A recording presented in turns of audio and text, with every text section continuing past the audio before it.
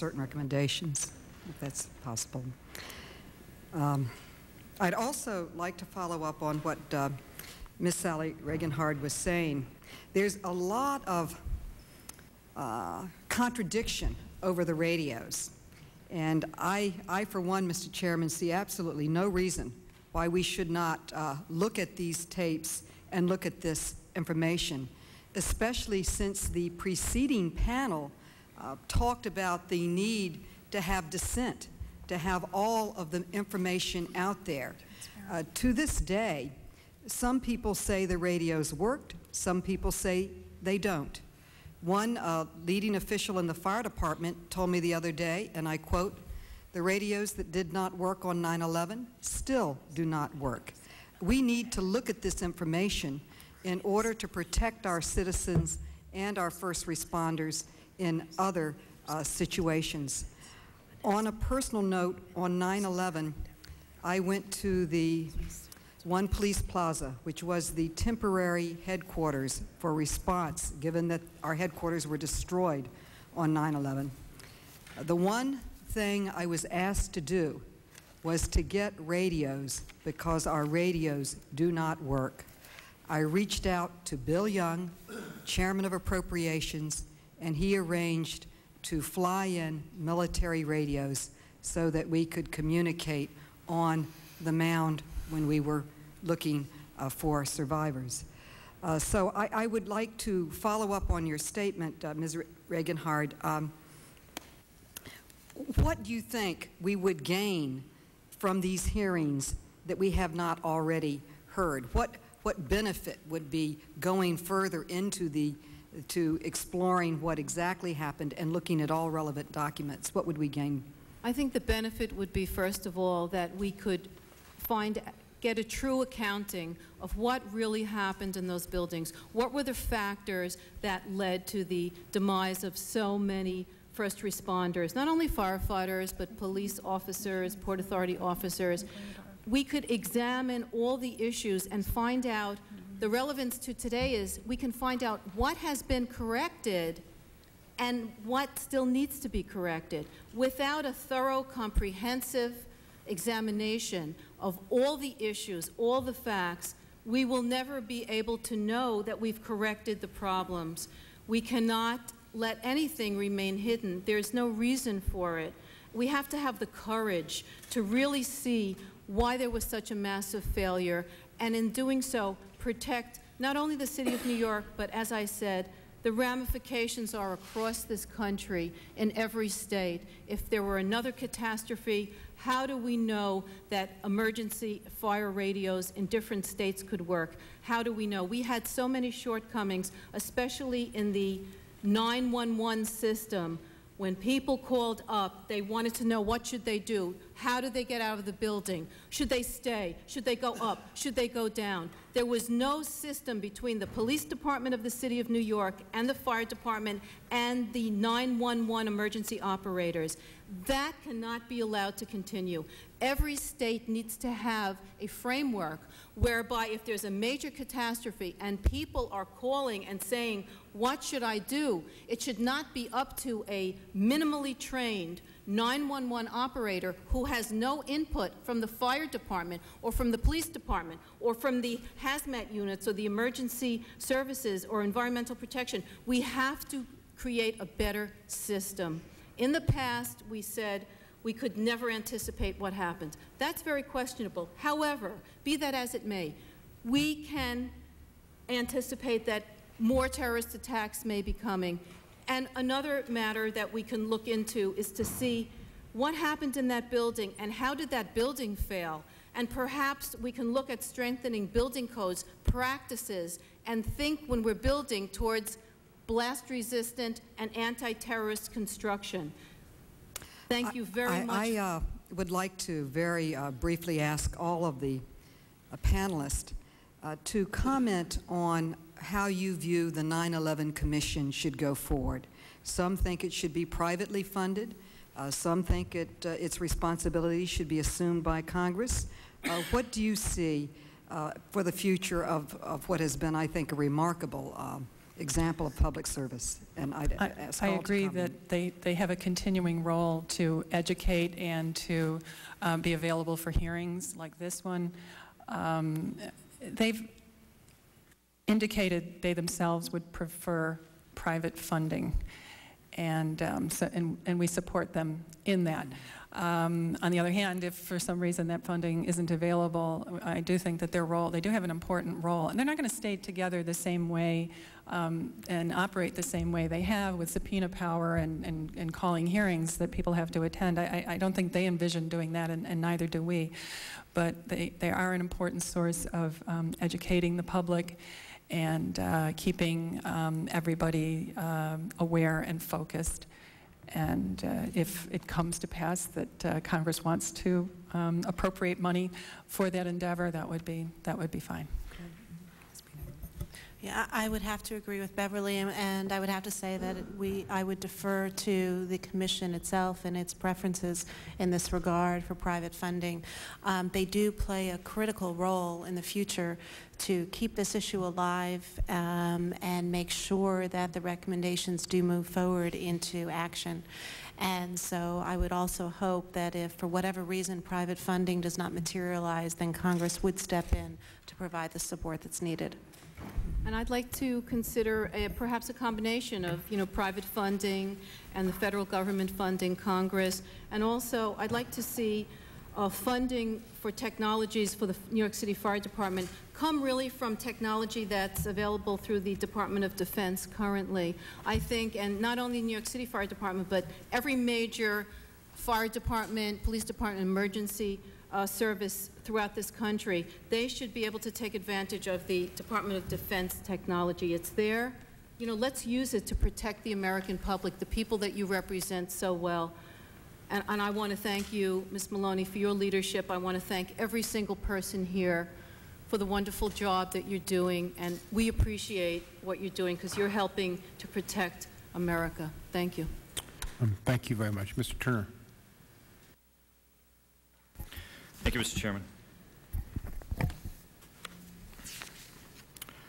Um, Ms. Regenhard, when you were talking about the, um, the issues of the equipment and the, the training um, at the, for the, both the fire department and the police department, the response, um, it was an issue that perhaps you heard in the first panel that, uh, that I had raised as an issue, um, and share with you your concern. I I noticed in your testimony, um, You say a review of Chapter 12 reveals that only three recommendations deal with all the complex issues that surfaced in New York City and continue to haunt us till this day, Yes.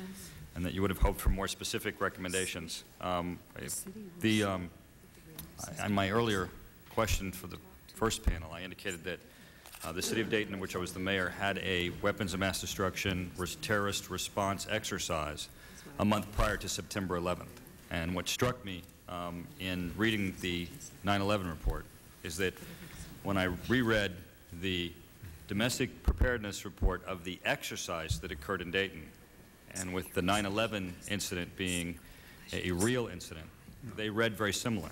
Um, in the um, City of Dayton's report, it says, participants agreed that the amount of information transmitted in and out of the command post was overwhelming. Fire department engine or truck company personnel should be trained how to properly support on a joint command post.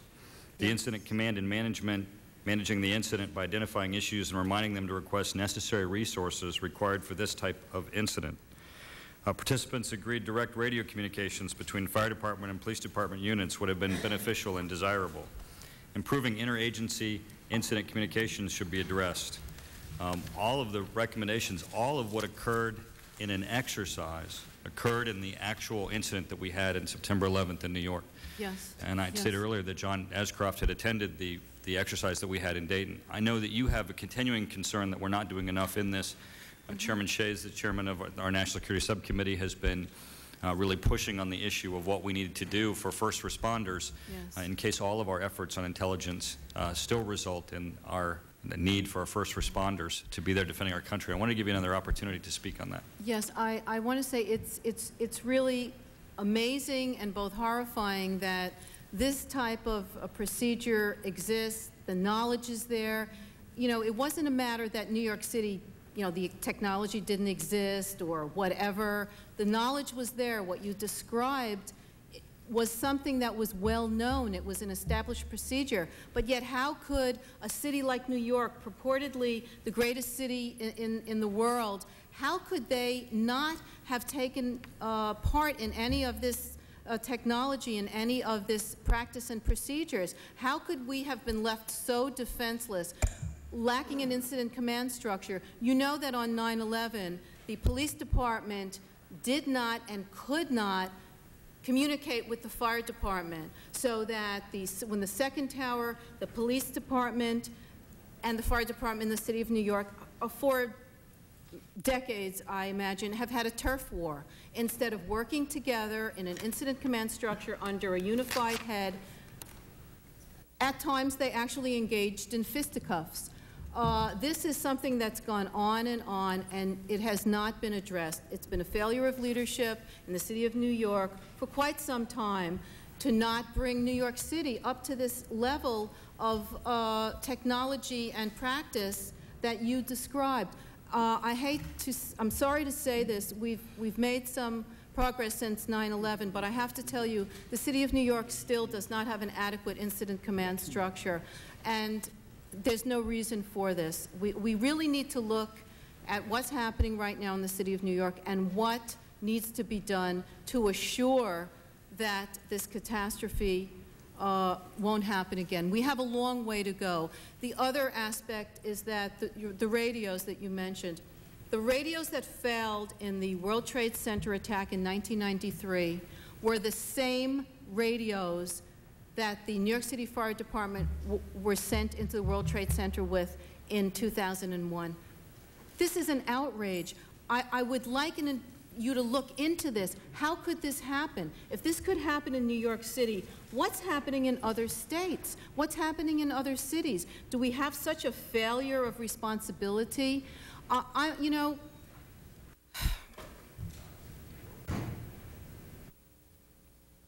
I deeply regret the lives of these beautiful people, these young, beautiful people. There were 97 unmarried firefighters lost in the World Trade Center. There were 17 probationary fires, firefighters, including my son.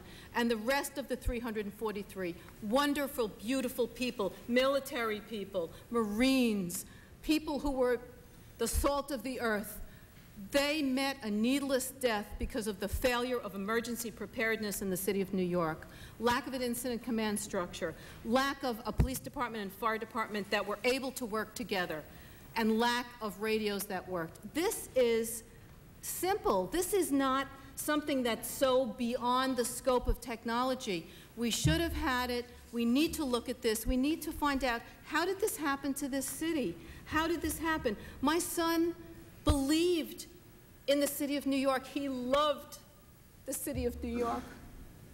He loved this country. These are only three of 12 medals and awards that he won. And the saddest part is when I was looking at these medals closer last night, one of the medals in the back has three words fidelity, zeal, obedience. My son and those firefighters would have obeyed an order to leave that building. My son was betrayed by a system that put him in there with radios that didn't work. My son was a proud Marine. He obeyed orders. He was a shining example of the best of this country. I want to know why he was sent in to a situation with equipment that didn't work, a hopeless situation. And if I can save the sons and the husbands of other people in the future, that's my goal. That's what I want to do. Thank you. Uh, Mr. Davis, any questions? Thank you very much, Mr. Chairman. I want to thank all three of you for your very well thought out, developed, and passionate testimony even though you're not elected officials, you know about timetables, you know about schedules, and you know about the legislative process. I think it may have been you, uh, uh, Ms. Eckert, who indicated that terrorism didn't take a recess or didn't have a recess. We, while most people that I hear are in agreement that the recommendations need to be implemented, but we're already beginning to hear some people suggest that there may not be enough time this year, or that maybe the implementation should occur after the election. And, and it seems to me that we need to move as expeditiously as is possible in order to put in place as quickly as we can this set of recommendations. Do you think that there, and each one of you might respond, that there's actually enough time to, to do a good review of looking at the recommendations, going through the process before the election in November rather than after the election? I, I do, because, I mean, even this position of Director of National Intelligence is not new. Um, we're new at this, and um, and we're you know we're trying to learn the ropes and to keep up. But honestly, I mean, as far as I've heard, this debate has been going on since 1947.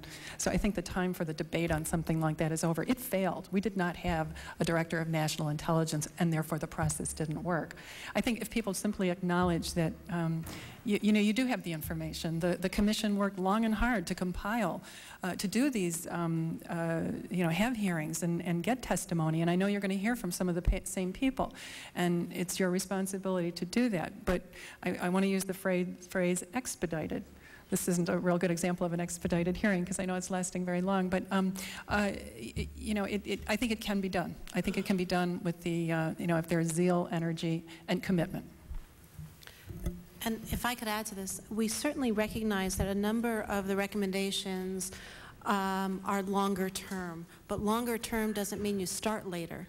Um, it, you still start now, it just may take a longer amount of time to get them ultimately implemented. My fear is that if we wait until after the election to start um, even discussing some of these other recommendations, that we will never get to them. And there are definitely, I'm looking at the list, again, the ones that are closest to my heart, the ones on preventing the continued growth of Islamist terrorism, things like define the message and stand as an example of moral leadership in the world. I'm just quoting from the report. Offer an agenda of opportunity that includes support for public e education and economic openness you can't achieve those by election day. Um, I wish you could. Um, but certainly the discussion has to begin now or it will never occur. And so I urge you that when we say all the recommendations have to be done simultaneously, um, we're talking for some of the longer term ones about at least starting the discussion simultaneously because some of these will certainly require a certain amount of debate and um, they all don't for some of these, I recognize it's not just passing a bill. I mean, there's work that has to be done within agencies. Um, there are policy shifts that have to occur. Um, but I please, I, I, really urge you to start thinking about them now. Uh, I have to say that, again, I agree with my colleagues on their statements. Um, I have to also say that I really appreciated hearing uh, from uh, Ms. Watson her comments regarding to keep some of these commission members involved. I think it would be a shame to have this wonderful commission just go away now and, and leave it up to, you know, agencies and other people to start reinventing the wheel. In some way, shape, or form, I would like to see people who have become experts in this arduous process to be part of the solution now, part of the implementation. Let them guide the agencies and uh, people, you know, whose responsibility it will be to enact it in some type of way. Keep them connected with it and, and keep that momentum. You know, one of the uh, Congress uh, persons said something about losing the momentum. You know, we can't really lose the momentum because so much of life is in the momentum and we don't have time to waste to lose it. Well, I certainly agree with each one of you, and I want to commend you again for your courage, your tenacity, and fortitude and thank you very much for your testimony. Thank you very much. Thank you. Uh, Ms. Blackburn. Thank you, Mr. Chairman, and I thank you for the extra effort today to, to bring us here for, for the hearing. And I thank all of you, each and each one of you, for taking your time uh, to come and and to talk with us. And um, I appreciate the comment that you just made about uh, we need to have the debate, and there will be policy shifts that will will need to take place. And um, I think that we can all agree that the Commission and this committee agree that information sharing is essential, that increasing the information sharing is essential, and uh, the report definitely makes it very clear that that has to be increased at all levels of government, the local, the state, and the federal government, if we are going to combat terrorism and the terrorists that are causing these activities. And it seems like that sometimes political decisions allow uh, loopholes or cause loopholes in that data that is available for sharing. One of uh, the things we have seen is that the Department of Homeland Security um, has made a decision to accept uh, from the U.S. Visit border crossing system people entering from Canada and Mexico.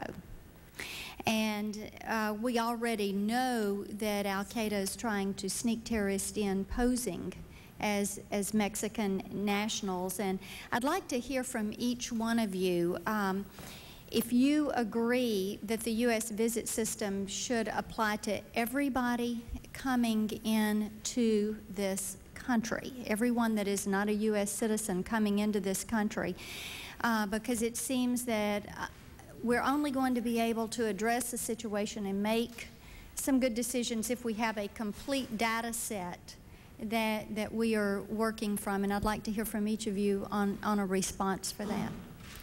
Well, I would say, and I'm not an expert on that topic, but I would say that until we have a more effective system of screening people, that we do need to make it universal. Um, we have, I don't know, 12 million illegals here already. Um, clearly, we make it too easy for people to infiltrate. Um, we need to be able to identify people who are terrorists who are already here, but clearly we need to stop them before they enter the country. Um, we made exceptions before. We had a, oh, what was it called, um, Visa Express, I believe, that allowed the Saudis, they, they, they actually targeted that system and used it because they knew how easy it was to get into the United States through that. So, I mean, I think that's just an example. We have to learn the lessons of our mistakes before. So, um, without um, uh, necessarily elaborating on, on any one system, I don't think that we should have exceptions. Thank you. I'm not an expert on that system either, but I, it would appear to me that, um, sorry, I, I'm not an expert on that system either, but it would seem to me that um, we would better be better off without exceptions, and it should be universally applied. But again, I, I, I do need to state I'm certainly no expert on the system. Thank you, ma'am. I'd like to thank you very much for that question, and I'd like to tell you that uh, the families of the victims have formed many different groups. One of the groups that is formed uh, by the families of the victims and that uh, we're certainly, many of us are members of here is 9-11 Families for a Secure America.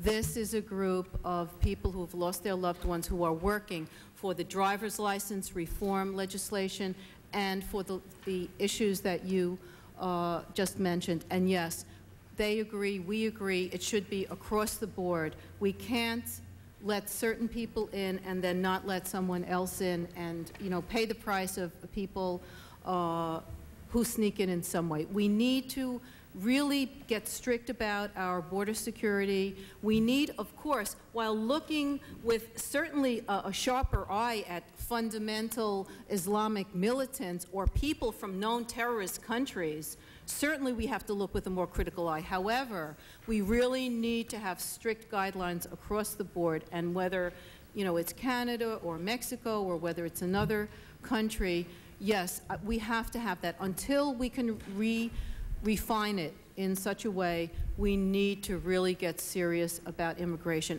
All of these issues that you mentioned today, there were failures across the board, and if any one of them could have been, uh, you know, not failed, even one could have stopped it. Th- That's how I personally feel. So yes, we, we have to get serious about immigration and driver's license. Thank you. Thank you very much. Mr. Tierney. Thank you, Mr. Chairman. I think everybody understands that the kind of loss that each of you suffered and, and other victims suffered is, can be paralyzing. And the fact that for all of you, uh, you've just turned that pain into public service, I mentioned earlier, is, is beyond commendable. And uh, it's absolutely inspiring. And I hope uh, that you're able to inspire the prompt action that I think this warrants and deserves. Some, one of you mentioned earlier about having a website or something that's going to keep people's feet to the fire, and I think it's an excellent idea. I commend uh, Chris Shays and, and Ms. Maloney for founding a caucus to support the recommendations. Just for what it might offer to you as a benchmark on this, we certainly could have a bill drafted almost immediately with the help of legislative counsel here that encompasses and embodies all the recommendations in this report that can be implemented soon. We could have committee hearings in almost no time at all. During the Homeland Security consideration, this committee met and marked up the bill in one long day, and at least two other committees uh, with jurisdiction over parts that did the same, and then a select committee that the Speaker uh, put in place held a couple of days of hearings, and then the matter went to the floor. So these things uh, can move. Uh, If it goes to the floor for debate, I obviously think we should have more than the customary one hour that sometimes important matters are given, but it need not go on for weeks or months. And if it isn't brought to the floor immediately, there's a process around here called discharge petition that you've all probably heard of in other contexts, uh, where we could demand that somebody file a discharge petition and people sign on until we get a majority that forces it to the floor, and that would be where your website or whatever would be instructive to people to see who's for moving this bill and who's for not moving it. Uh, Not certainly who's voting for it or against it, because I think we have to respect people's opinions about what they feel about the actual legislation, but who's moving it for consideration and debate and deliberation, during which time it can be amended or amendments can be offered, uh, and then it could be passed. This certainly, in my estimation, could be done before the anniversary date of September 11, 2004, but definitely by the end of this, by the end of this year, and that's even with time out for other things. So if that's any kind of a benchmark to you, I offer it to you, and it has past examples of how we've moved rather quickly on things. Getting aside from some of the particulars um, on the security matters, I I wanted to ask for your respective opinions uh, about the broader issue of Islamist terrorism and the comments made in the report about the fact that we have to move and do something about that. What generally has, has been the reaction of the families with respect to those statements that talk about offering an agenda of opportunity that includes support for public education and economic solutions and openness defining the message and standing with it as uh, moral leadership in the world, those types of things. Uh, Is the uh, steering committee and other families solidly behind those statements? Do you want to expand on that at all? Um, Two comments. First of all, on the first point you made about how quickly can can move, I just want to say thank you. Um, And I hope that happens. And also the Family Steering Committee and the families in general, through our website as well as other means, are very prepared and willing to help you in whatever way we can to help legislation move through grassroots action. We are, certainly most of us are located in the Northeast Corridor, but we're, there are relatives everywhere. Uh, We're throughout the country, and um, just interject, say, you should know, so that hopefully it gives you some comfort on this, that there have been bills filed uh, by this Congress, Right. members of this Congress, and they should be, I'm not going to mention their names, what party they are for now, I don't think that's important, but there have been bills filed and been sitting there for months without yet being moved for hearing or not. So there are people that are willing to act on that, and, and you know who they are, can find out who they are, but there are certainly vehicles already filed for parts of this, but I think we could get one solid vehicle that encompasses it all and move that too. Sorry to interrupt. No, and, and um, I appreciate that, and I I think we would very much welcome an opportunity to sit down with you outside the hearing process, to sit down with you in your offices, and talk about the bills that have been filed, and uh, which ones uh, we should help move. Um, That would be something we would be very anxious to do.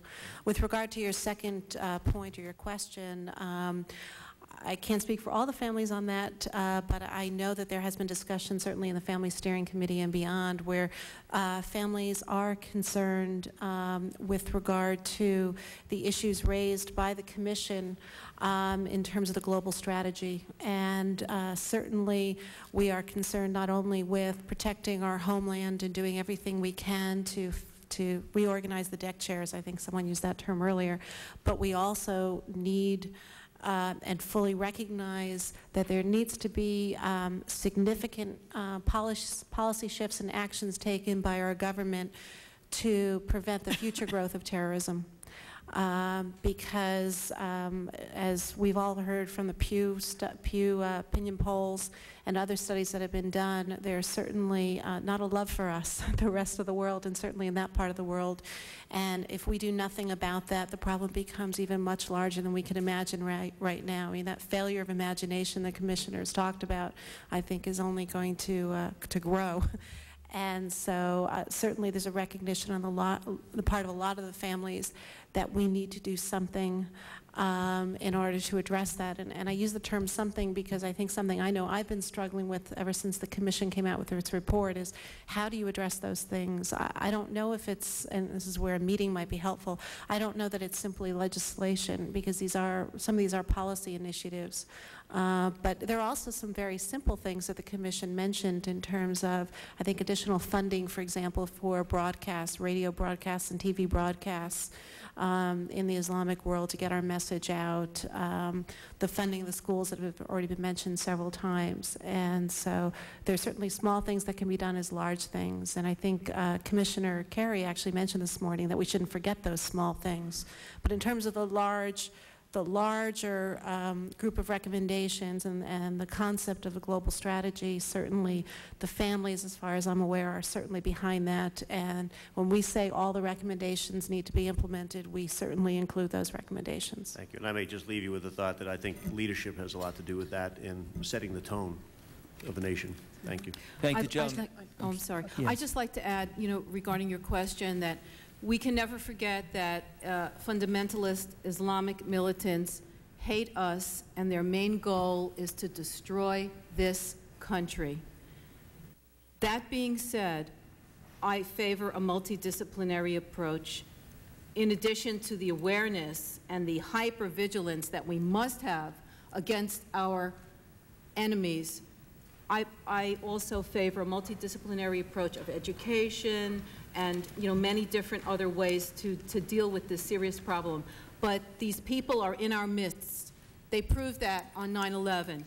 The uh, recent uh, terrorist plot or the uh, information that we found out only yesterday proves these people are here, they're taking pictures, they're planning, they're here.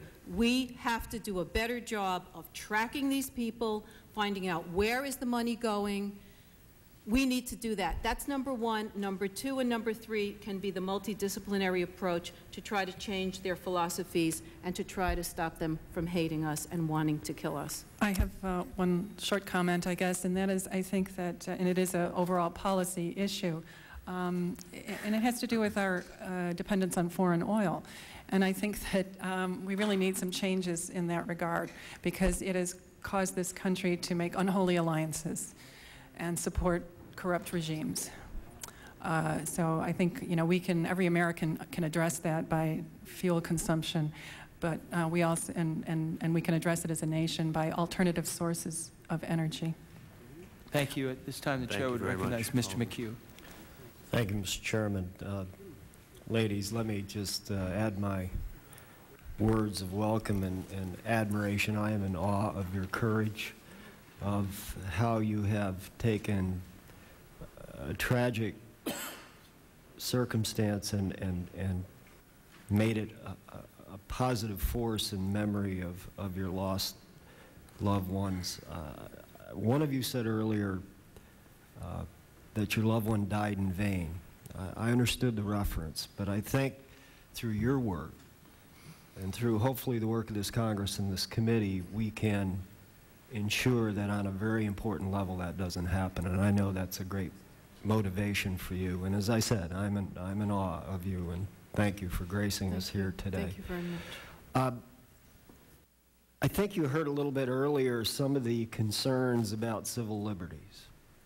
I, I will say to my colleagues, I have found some of the comments earlier today and pontificating rather interesting. Uh, the fact of the matter is, we are going to have a real struggle in this Congress when we get to issues about civil liberties, about transgression of those individual rights. I think it was uh, pretty well evidenced just a few weeks ago on the House floor, where we had a, an initiative on the floor that would have placed sanctions on communities that today are refusing to deal with the Immigration Naturalization Service and Customs and other federal agencies to get a hold of our immigration issue. This House, and some of the colleagues who have been most vociferous today uh, in, in their support of this, of this blanket initiative, voted that down. I was stunned. We actually sanctioned in the House communities in this nation not dealing with immigration authorities. That's where we are. And we have to be, I think, as realistic as these ladies have been and the surviving families in general about the challenge. One of the greatest assets I think I found in the pages of this report is they, as Senator Kerrey said, identify the, the threat. It is Islamic fundamentalism, terrorism. Uh, and to call it anything else in the interest of PC is a huge, huge disservice. Whether we're talking about the Patriot Act, whether we're talking about the initiative to try to identify through biometrics and others who's coming into this nation, who is leaving, et cetera, uh, we need to get serious about the larger objective. And to the extent that uh, this report helps us to do that and get beyond the political correctness of the moment, uh, I think it's important. My simple question to you ladies would be, drawing on your, your experiences not just on that terrible day, but through this process. What would you say to the American Civil Liberties Union, for example, that has al already expressed some concerns about portions of this report um, as to the need to step forward and, and judiciously, but perhaps in, in difficult ways, choose between those civil liberties that we all cherish and, and, and the laws and the initiatives contained in this report? Because it's going to be a question we're going to have to deal with. Well, I- Well, All right. uh, um, Gosh. um, I think as long as there's checks and balances, there's oversight, uh, there's recourse for people, that it doesn't get out of control. Um, I I think some of the uh, sensitivities about our civil liberties are, um, you know, an- an an extreme reaction because, let's say for privacy, because we don't have a lot of privacy. Uh, You know, our- our, let's say our, um, whether we fly or not, or took a particular airline flight, I'm, I know that my credit, since I charged it to my credit card, I mean, the record is there. Um, So, you know, as a family member who suffered the direct consequences of lack of security, I tend to want to try um, the um, experiment of going further than we have in terms of um, information that uh, is necessary in order to um, identify, uh, you know, uh, suspicious behavior. But, but as I said, I mean, I think, it, you know, it's, it's really necessary that there's oversight. I think another part of the equation I heard at one of the hearings is that someone said we, we don't need all of this because we pretty much know the 75,000 people or so, you know, who are, who are suspects. And we, if we, we should be focusing on that and not, you know, on the, everybody in the entire country. So I think, you know, there's some merit to that. I just hope that whatever is put into place does it with, I mean, you can have too much data and it's not going to mean anything. So I, I, I think we should focus on uh, those areas where people um, and terrorists are known to um, utilize, for back of a, lack of a better word, uh, methods and um, focus there. And I think as long, we, we need to have uh, protection of our civil liberties. Uh, we already do have that, but if they're going to be, um, um, you know, privacy issues are going to um, be more in the forefront, then I just think we should strengthen the protections as well. Th- Thank you, gentlemen. Uh, At th- this time, Thank the you, the chair would recognize Chris Van Hollen. Thank you, Mr. Thank you, Mr. Chairman. We've, we've covered a lot of territory today, and I just want to um, take my time to first thank you for your, your powerful and eloquent testimony, and thank you for dedicating yourselves to doing everything in your power uh, to prevent another 9/11 and to prevent other families from suffering the, the terrible loss that, that you have. Uh, my colleague, Mr. Tierney, talked about the potential timetable uh, in the Congress, and I just want to underscore that point and also add that the, the, the parts of the reform that deal with congressional oversight uh, can be done even more quickly in the sense they don't even require uh, any interaction with the executive branch. Uh, we can do that uh, on our own. It affects only the Congress. Uh, it does not necessarily require getting any testimony or input from the congressional, uh, excuse me, from the executive branch.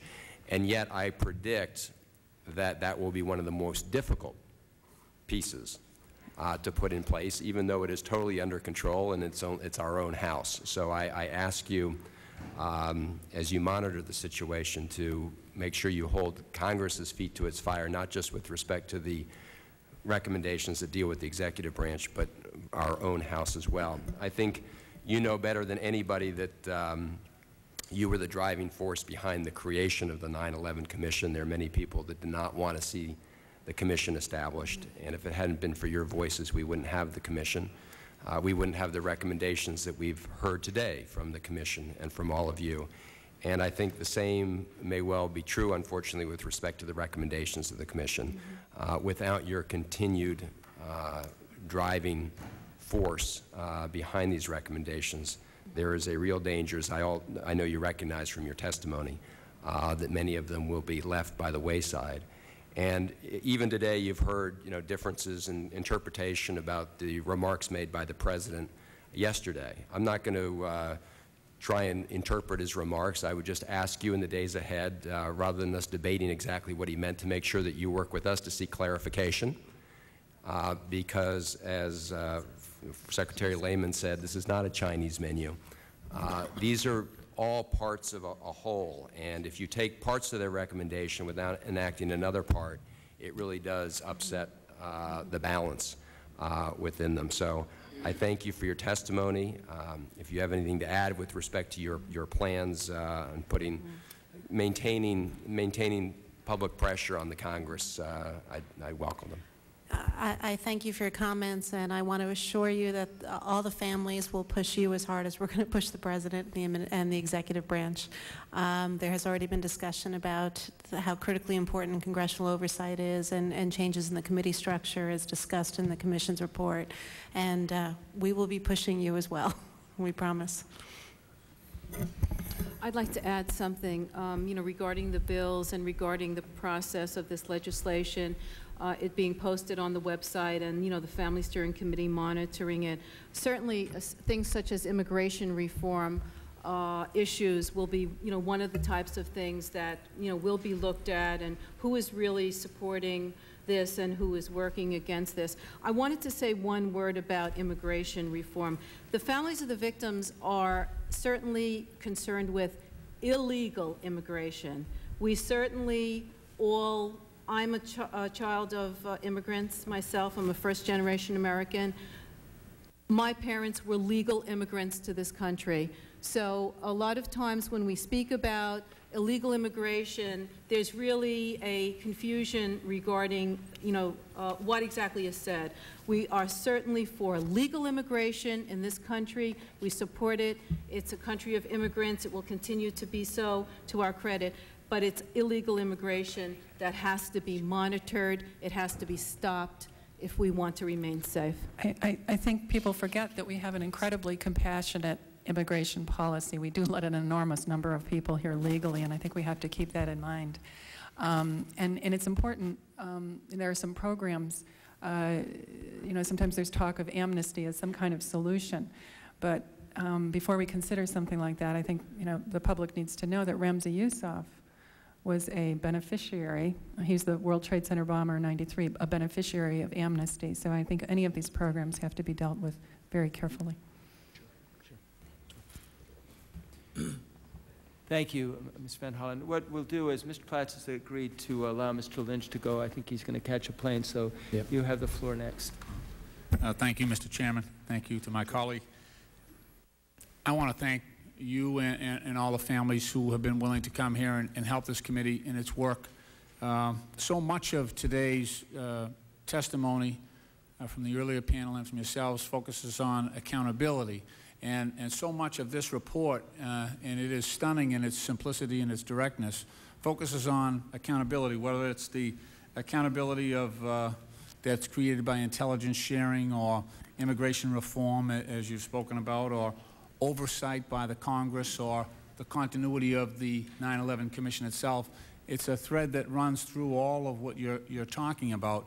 And I just wanted to ask you uh, how, how important, whatever, whatever we adopt in the end, and we all hope that it's, it's basically what the commission has recommended here, but how important is that strain of, of accountability and getting the answers that you're looking for uh, as, as uh, trying to find out about your loved ones and, and their last hours and, and in terms of uh, getting some reliability in terms of every firefighter or every public servant uh, who, who answers a similar call. How important is the fact that that accountability be in that plan uh, that, that we come up with eventually through this legislation? Well, I'd like to say that certainly accountability and responsibility are the hallmarks of a democratic society. In 9/11, we've had an absence of accountability and responsibility, and the people who perished were pinnacles of accountability and responsibility. They led lives characterized by that. And yet, people who caused their death through omission or through commission, there has been no accountability and responsibility for all the levels, if it's the I, IR, the INS, the DOT, the CIA, the FBI. You know, the members of our Family Steering Committee two years ago sat in the, in the Joint Intelligence Committee hearings, and we saw the FBI person with the hood on weeping and saying he tried to tell, he tried to share, people didn't want to listen to him, he begged them, and so on and so forth. Every time we hear that this plot could have been stopped in some way, or at least a bump in the road, it's a knife in the heart of the families. Yes, accountability and responsibility means everything to us, everything. And unless we have that, what is the impetus? What is the what is going to force people to do their job and to be responsible? Yes, I want that. My son lived his life by accountability and responsibility. He deserves that as a legacy to protect people in the future. Thank you. Well, I, I don't really know that I can add to that. Um, uh, the report is replete with um, a um, flavor that no one was in charge, uh, so that um, the you know the commission did not make um, an effort, or I'm sorry, they they they sidestepped. Um, uh, I think for for good reasons, um, uh, in order to focus on the reforms. But you know, you know, names weren't named. But I think the days, and I think that's a one-time pass. I think we do have to have somebody who is in charge and who is accountable, um, and that's why the director of national intelligence position with authority is so important. Because with that, there'll be accountability. And I think what Sally said is key in that um, it's only through accountability that you can ensure um, that there is uh, some mechanism that uh, people have an incentive essentially to do the right thing because if they don't, that they will be held accountable. And so accountability is certainly a key to making sure that things, that this is not repeated. I, I just want to emphasize, thank you, Mr. Chairman. I, I want to just want to emphasize what Mr. Tierney spoke of earlier, and that is the the good that you can do, uh, the the moral imperative that you have at your command, the the passion that you have because of of what you've gone through, and even though we talk incessantly about the politics and how things might get bogged down, there is no politics in the face of, of that type of testimony, the testimony that we've heard from you today, and it will fall away. It will fall away. We need the power of your, your passion and your conviction on behalf of your, your loved ones, and, uh, and, and we need to have that power to help move this process. Thank you. Thank you. Thank the gentleman. This time, uh, Chair recognizes Mr. Platts. Thank you, Mr. Chairman. I want to add my words of sympathy to our, our witnesses as well as other family members here who've lost loved ones. Um, as best we try, uh, there's no way we can truly feel the um, emotions that you each do. And uh, your courage in being here with us is certainly commendable. And, and your um, ability to take very personal tragedies and seek to turn them into uh, public good uh, is uh, remarkable. Uh, and that is what you're doing by your perseverance in working with the Commission and being here today and, and assuring all of us uh, that you're going to continue to keep the pressure on. Because uh, in the earlier panel, Representative Van Hollen asked Senator Kerrey, uh, based on his experience in the Senate, how can we succeed in transforming this place, Congress, the House and Senate? And um, I, I think the, the best answer to that question really is you, um, you know, because uh, you speak with uh, that, that personal passion because it was your loved ones. And uh, that is important in overcoming the, the innate nature of this institution and its resistance to change and the turf battles uh, and the unfortunate partisanship. Uh, your message and your efforts will help us overcome that and truly embrace these recommendations, embrace the good work of the Commission, and allow us to uh, truly ensure a safer America. And um, I uh, personally thank you for your efforts uh, as a father of two young children who want them to grow up in a safe and strong America. What we do with this, uh, this effort is critical to their future. And uh, so you're looking out not just for the, the memories and legacies of your own loved ones, but for the loved ones of all Americans. And I commend you. Thank you, Mr. Chairman. Thank you very much. Thank you. Thank you, the gentleman. Uh, At this time, the chair would recognize Ms. Watson. Again, we appreciate and we thank you for your sincere devotion to all of our causes. I just want to say very quickly, uh, we must, I feel the need to move very quickly, as you do. And I would hope that uh, you would take an example of MADD, uh, Mothers Against Drunk Driving, which originated in the capital, Sacramento, uh, California. Uh, many years ago, a young uh, girl was killed, and her mother organized a group of the neighbors, and now they're nationwide. Uh, Mrs. Eckert, you said that, uh, oh, there are relatives all over the country. What I'd like to see is that you organize yourself into chapters around the country and you visit your representatives eh, wherever the locations are. You visit and you talk to each and every one of them about what you as family members, as Americans, as citizens would like to have them do to represent you. MADD, as you know, is a very effective and instrumental organization that has been the basis of many of the laws that we've introduced, not only in California, but across the country. I see you as being a model for that kind of organization. I would like you to follow up. My staff is going to give you, I have some more information for the three of you that I'll give to you privately. And uh, so we'll see you afterwards. So thank you. I'll be leaving shortly. But I hope uh, that we can stay in close touch. And a, a, real quick comment on that. It's funny because we realize we need to take next steps, and there's there's 12 of us on this committee, and um, uh, you know we're here for the long haul, but we could use reinforcements, and I think you've made an excellent suggestions, and we've actually already been talking about kind of a subcommittee, God knows. um, uh, we don't want to get too bureaucratic, but uh, we, do, we do know that there's a, a, need to, as the Commission is doing, you know, traveling the country and uh, explaining to people exactly sure. what this is all about. So it sounds like an excellent suggestion. You know, some Thank distant you. cousin yes. on the west coast of California yeah. could be the surrogate and could visit my office and the office of our large delegation of 54, okay. their offices respectively. Great idea.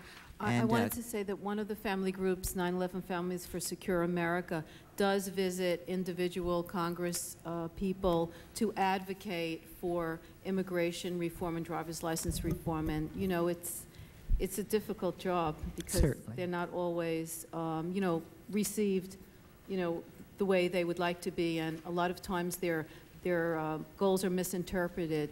But uh, I think it's a wonderful uh, idea, and we have to continue to do that. Thank you very much for that suggestion. I also want to thank you, and, and uh, rest assured, we actually, there, there are a number of family groups out there that uh, we're all trying to coordinate, and a number of us do maintain databases that we've been able to put together of family members beyond this geographic area and are trying to locate families throughout the country so that we can be in it. We are in, I would imagine, almost every district uh, when you fan out to cousins and uncles and aunts. And so we will make sure we, we fan out as deep as we can and try to reach everyone. I commend and congratulate you on your efforts, your compassion. We all share your feelings, and I know that something good is going to come out of this. Thank you so very much. Thank you. Thank you very much.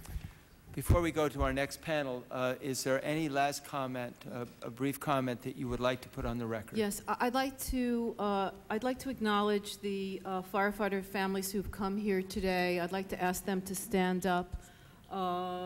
Well, let, stand let's, up. let's have all the families who Yes, came as stand well up, as the please. civilian families who joined us today. Please they didn't stand mind up. standing Please up, stand thank up. you. Please stand up.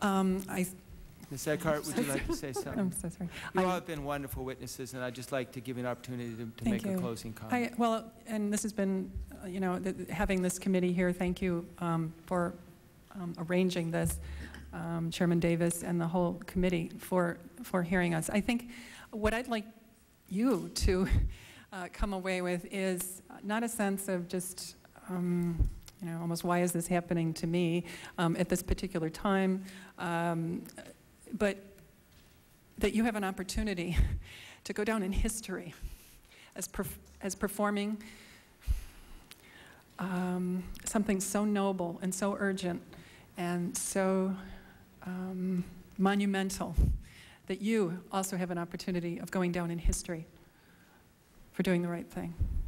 I'd like to leave you with that thought.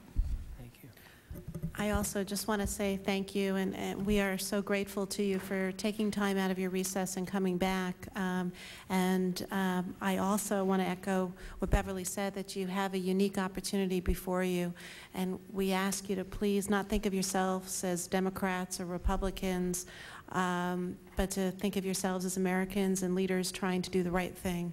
And know that we are here with you, uh, standing beside you and, and behind you and in front of you, everywhere we need to be in order to help you and move whatever legislation needs to move forward. We, we will be there with you to help in any way we can. I'd like to thank you also for everything you're doing, and I'd like to end by saying, God bless America. Thank you. Thank you very much. Uh, We have many reasons to say God bless America, and we have a great deal of gratitude for all three of your testimony and remembrance and the legacy of your loved ones. And uh, Ms. Eckert, we do know we have a solemn responsibility and a tremendous opportunity. Uh, There would not have been a 9/11 Commission without the work of, of the families of September 11th. And um, uh, I know that role continues, uh, and you give us a great deal of strength and pride in our country. Thank you all very much. Uh, At this time, we'll adjourn this panel. Um, We have um, two more panels, and I'm thinking that we will ask them to join collectively. Excuse me, Mr. um, Well, you know what? Uh, I just want to say it is now three, almost 3 o'clock. Uh, We'll have the GAO go uh, separately, um, and we'll do it that way.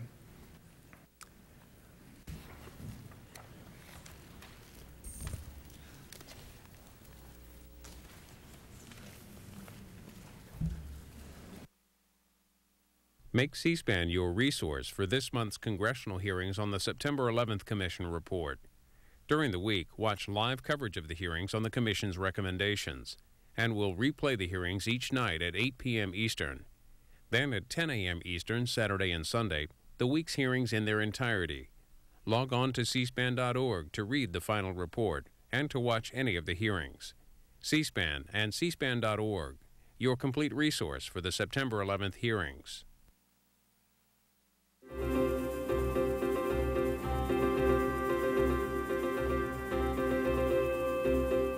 In a moment, more testimony from today's House hearing on the September 11th Commission's recommendations with Comptroller General David Walker, followed by officials from the FBI, AT&T, and other agencies on the use of technology in combating terrorism.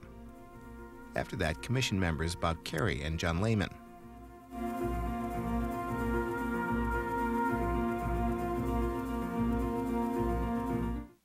On C-SPAN 2 tomorrow, Israel's role in the United Nations. The American Enterprise Institute hosts a panel with Israeli, European, and U.S. officials, live at 10.30 a.m. Eastern. Later, Speaker of the House Dennis Hastert on his new book, Speaker, Lessons from 30 Years in Coaching and Politics, live at 1 p.m. Eastern, also on C-SPAN 2. U.S. Comptroller General David Walker was the next to testify today before the House Government Reform Committee. This is a little under one hour.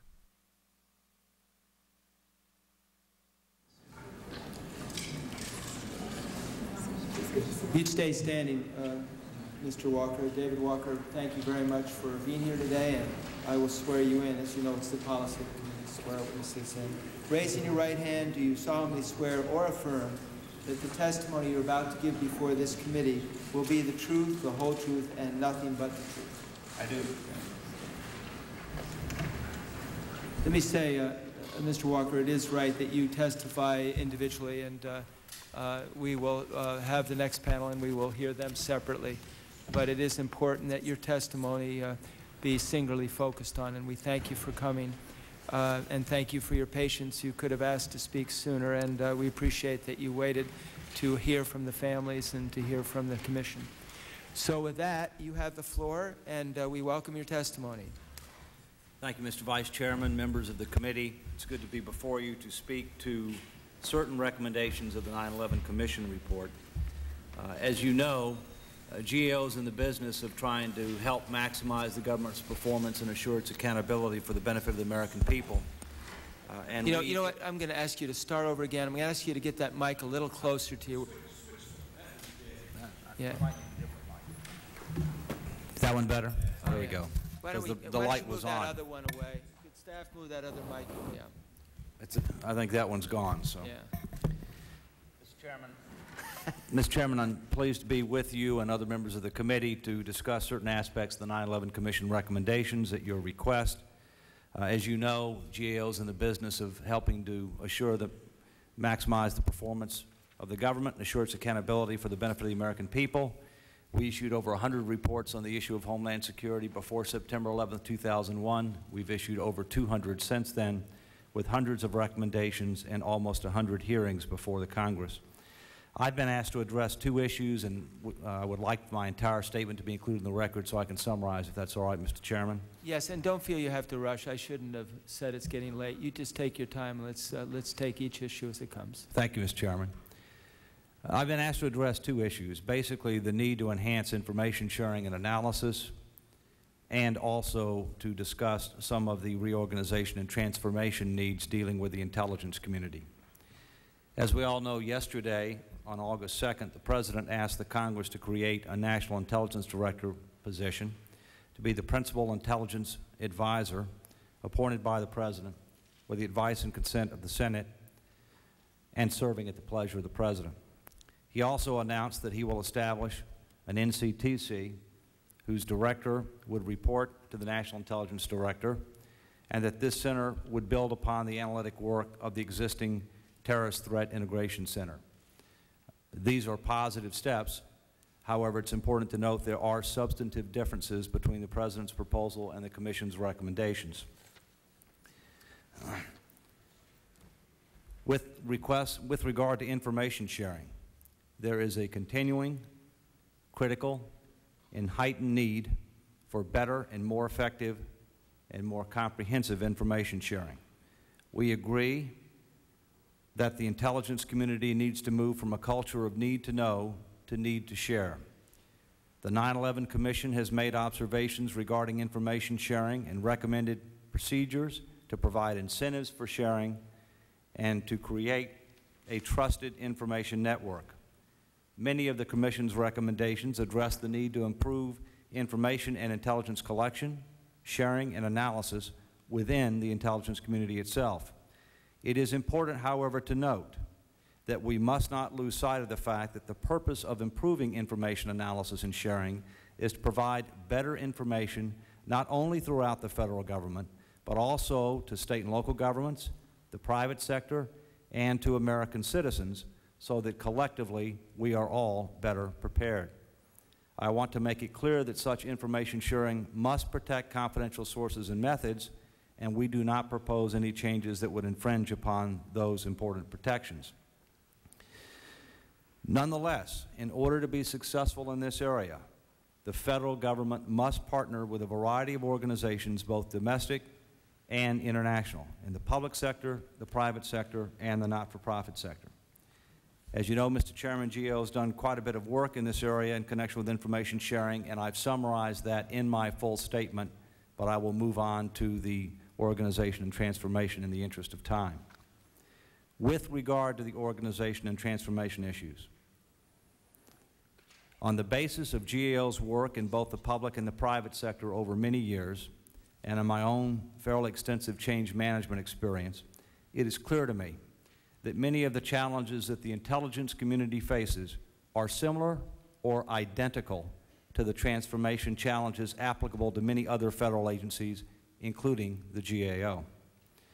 As I touched on earlier, while the intelligence agencies are in a different line of business than other federal agencies, they face the same challenges when it comes to strategic planning, organizational alignment, budgeting, human capital strategy, management of information technology, finances, knowledge management, and change management. They are generic challenges faced by every single agency in government.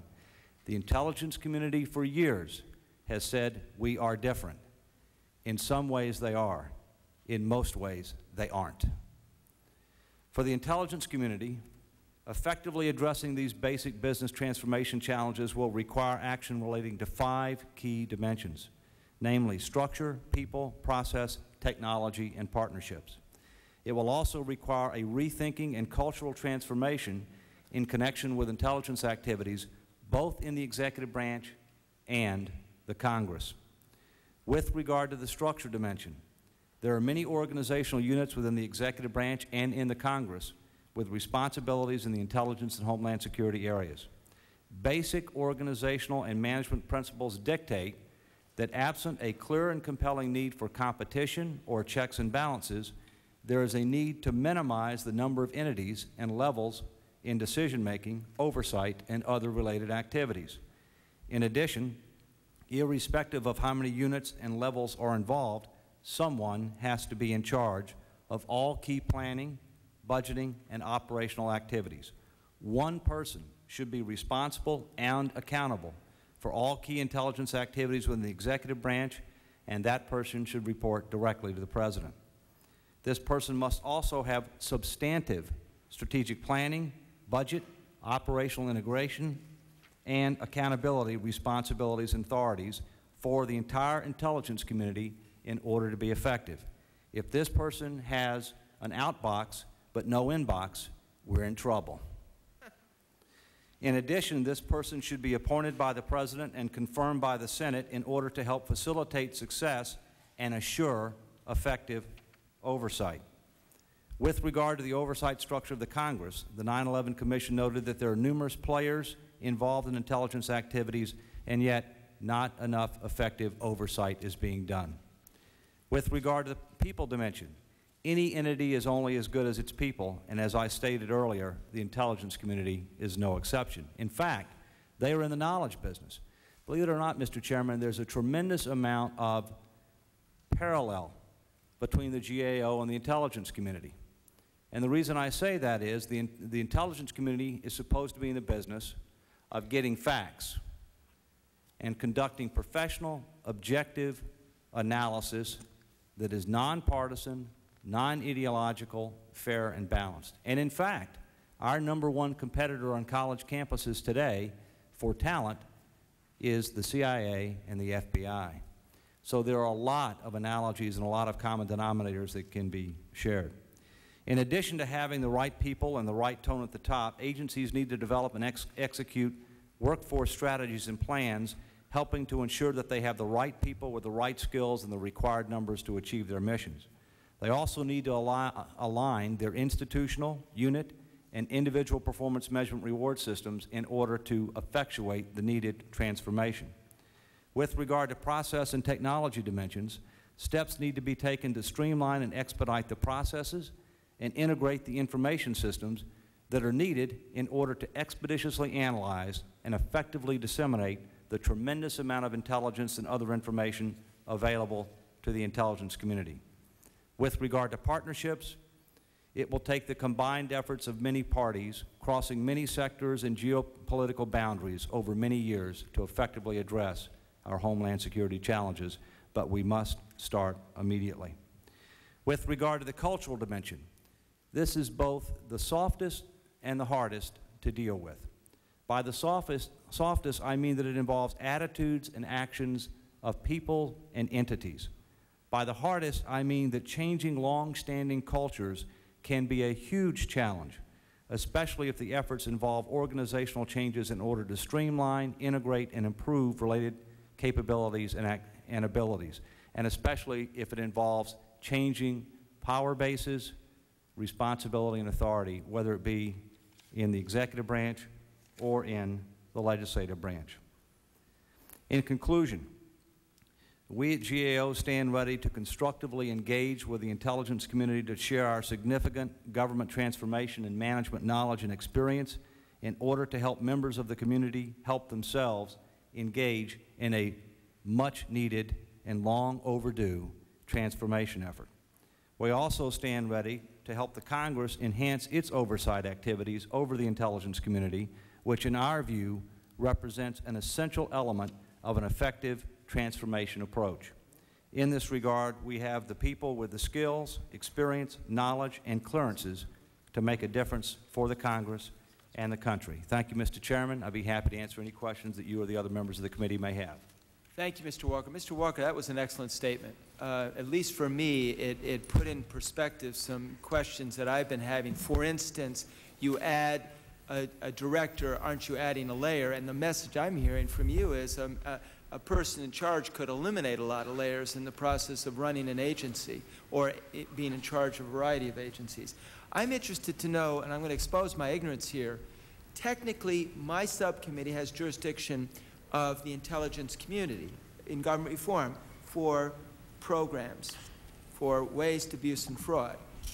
But whenever we wanted the CIA to testify, they would get a permission slip from the Intelligence Committee that said they didn't have to testify. And one of those times was when we wanted to know how well they communicated with the FBI. And we weren't looking at sources and methods. What kind of cooperation does the GAO get from the intelligence community? Do you have oversight? Are you able to get in and see what you need to? Is it a constant battle, and do you usually win those battles or lose them? Mr. Chairman, with the exception of certain accounts and activities, so-called black accounts or uh, funds, uh, GAO has extensive oversight authority with regard to the intelligence community. However, during the past number of years, we have not had extensive involvement in doing work in the intelligence community for two reasons. Number one, tremendous resistance from the entire intelligence community, which resistance uh, was uh, manifested in a memo by the then uh, CIA director in 1994. Uh, and secondly, because there has been a lack of request and support from the intelligence committees to have oversight in this area for a number of years. You know, this is a problem.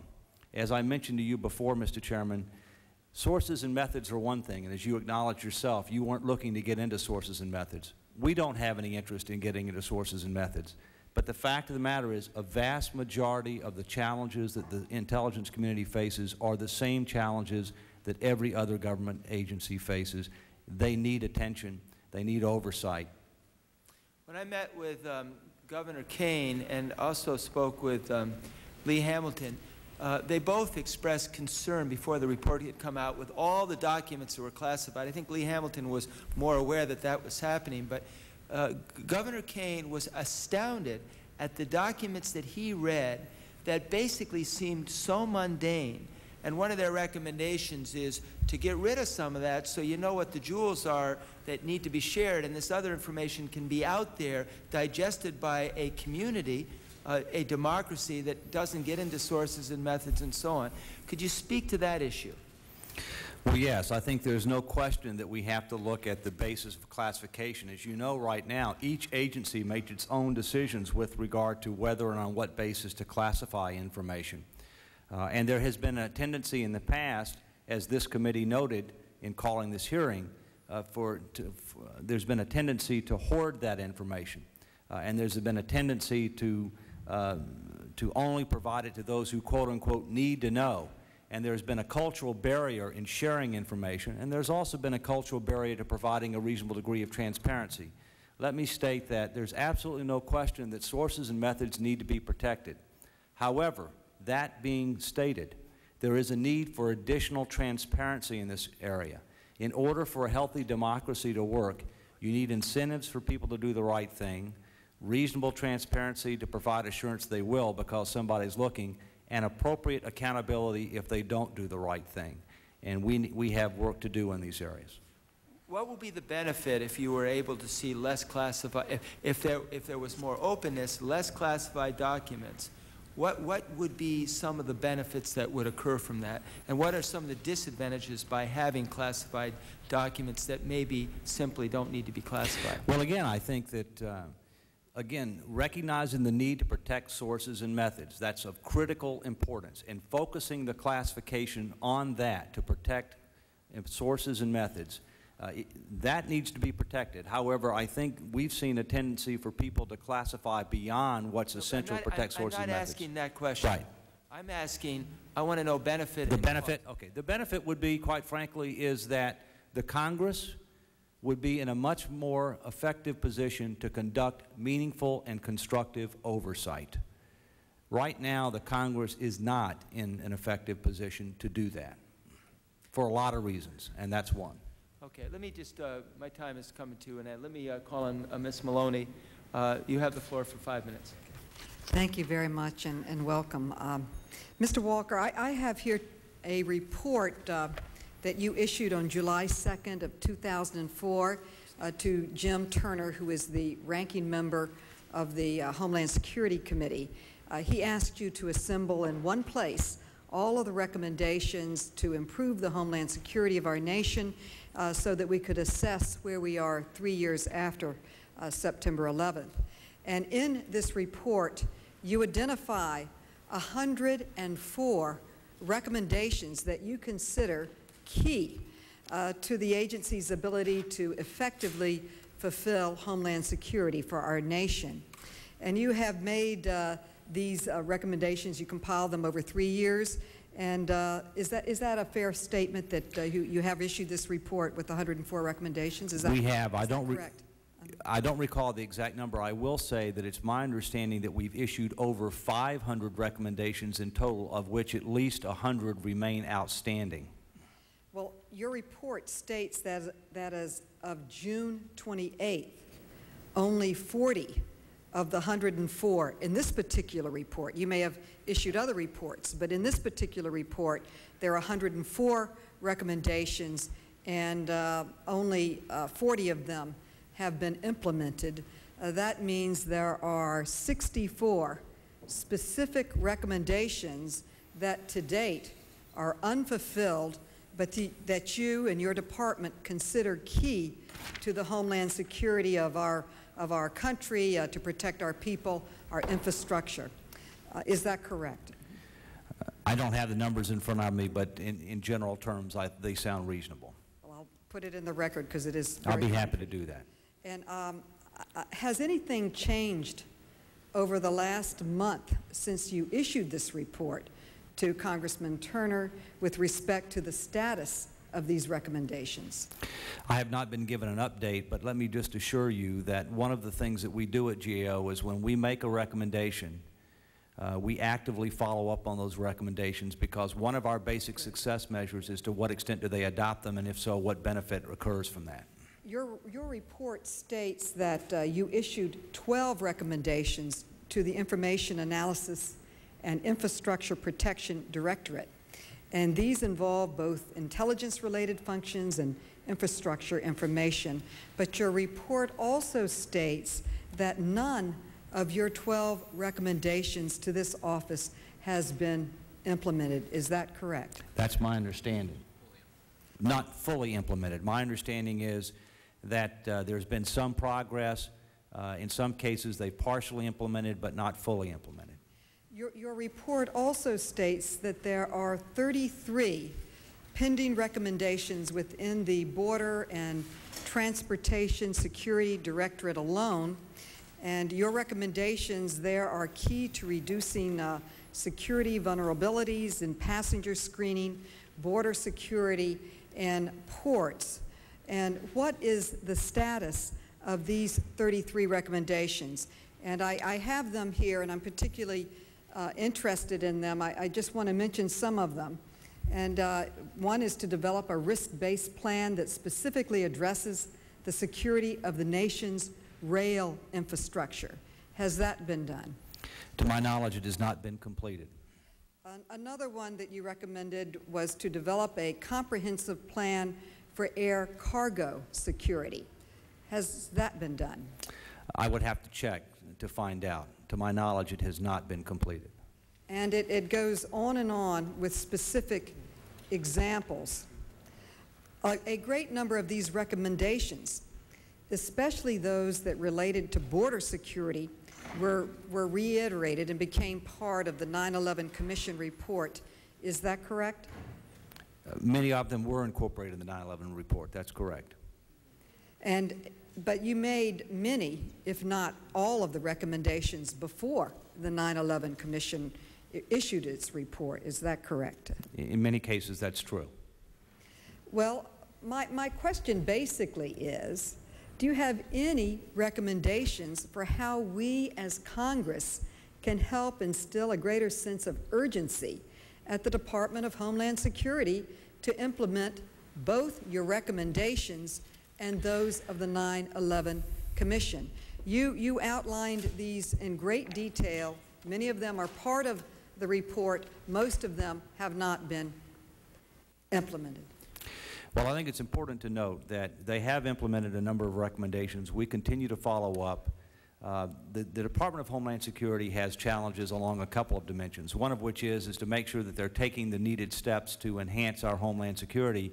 The other is, is to try to be able to integrate 22 to 23 different departments and agencies in what is the largest reorganization since the establishment of the Defense Department in 1947.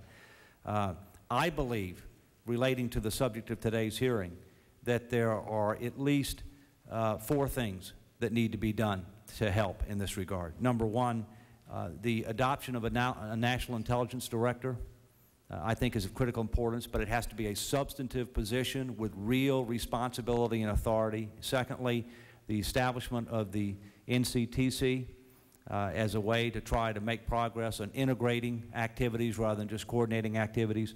Thirdly, uh, to look at uh, congressional reorganization and to enhance congressional oversight. And fourthly, frank, and frankly, pretty basically, to complete a comprehensive threat and ri risk assessment in the area of Homeland Security and to use that as a basis to finalize the Department of Homeland Security strategic plan for allocation of resources, for determination of performance measures, and for effective oversight by the Congress. Me, uh, Thank you. Actually, uh, the, chair, the acting chairman and I have introduced legislation that would actually achieve just that. My time has expired. Thank you for your report. Thank you. Thank you, gentlelady. Uh, Mr. Schrock, you have the floor. Uh, thank you, Mr. Chairman. Uh, General Walker, thank you. I, I, agree with everything you said. But the interesting thing is, uh, we can sit here in these hearings all day long, but what are we going to do about it? When the rubber meets the road and we have to stick this voting card in to vote yes or no, what are we going to do? And you sort of insinuated, I believe, that uh, we don't have the ability to to take charge of things, and I think you're right. We've rolled over and played dead. If you don't think so, when the Supreme Court legislates from the bench and the, the federal courts legislate from the bench, they're taking away the responsibility we have. And the way to get some of these people under control is just to subpoena th- them and bring them up here and make them, make them do what we tell them to do. But we haven't done that, and I think that's why we have a lot of the problems we've got. Um, Our borders, what are we going to do about our borders? Political correctness is, seems to be the name of the game anymore. I was already privileged to serve with Bob Ehrlich, Congressman Bob Ehrlich, for a short time. He is now the governor of Maryland, and he finally said, political correctness be damned. We're going to do what's right for the people of Maryland, and people like that. It's time we get over that sort of stuff because it's this political correctness that is getting us in trouble. And you'll hear members here say they're willing to do certain things when they get on the floor, but political correctness will dictate otherwise when it comes time to vote and they won't get things done. But we're an extremist in this country. We are really in trouble, in deep trouble in this country, if we don't start listening to people like you and others. And this 9 11 uh, commission uh, has put, put together this magnificent document. I don't know where we go from here. I am genuinely concerned, genuinely worried about that. And this committee can sit here all day, but unless we're willing to take action, strong action, then uh, we're going to just fall back into the same old trap that we had before. So I really appreciate you being here and your comments because I agree with everything you say. I don't usually agree with Right. Thank you, Mr. everything everybody says, but I really agree with what you say. Thank you, Mr. Rock. If I can comment briefly, that might be please. helpful. First, I think if you look at all the recommendations of the 9/11 Commission, uh, many of those recommendations don't require legislation. That's right. And so I think one of the first things that needs to be done is to go through and analyze which one of those would- require legislation, which one wouldn't. Would the gentleman just yield a second to say, Sure. uh, suspend, just, uh, we would like that document, we would like you to go through and tell us specifically what is an administrative effort, uh, a, a regulation, executive order, law, or a rule change. That'd be very helpful. Mr. Chairman, we- I'll be happy to talk to our staff and see if we can come up with a first cut of which ones might require legislation versus th- those that could uh, be done uh, through executive action. And Mr. Chairman, we might be surprised. There might be more in there that could be done without legislation than we can. we I think there's quite a few that can be done without legislation, so we'll do that. That's number one. Nu- Number two, you're then going to have to obviously prioritize what's most important. I mentioned four things that I felt are critically important.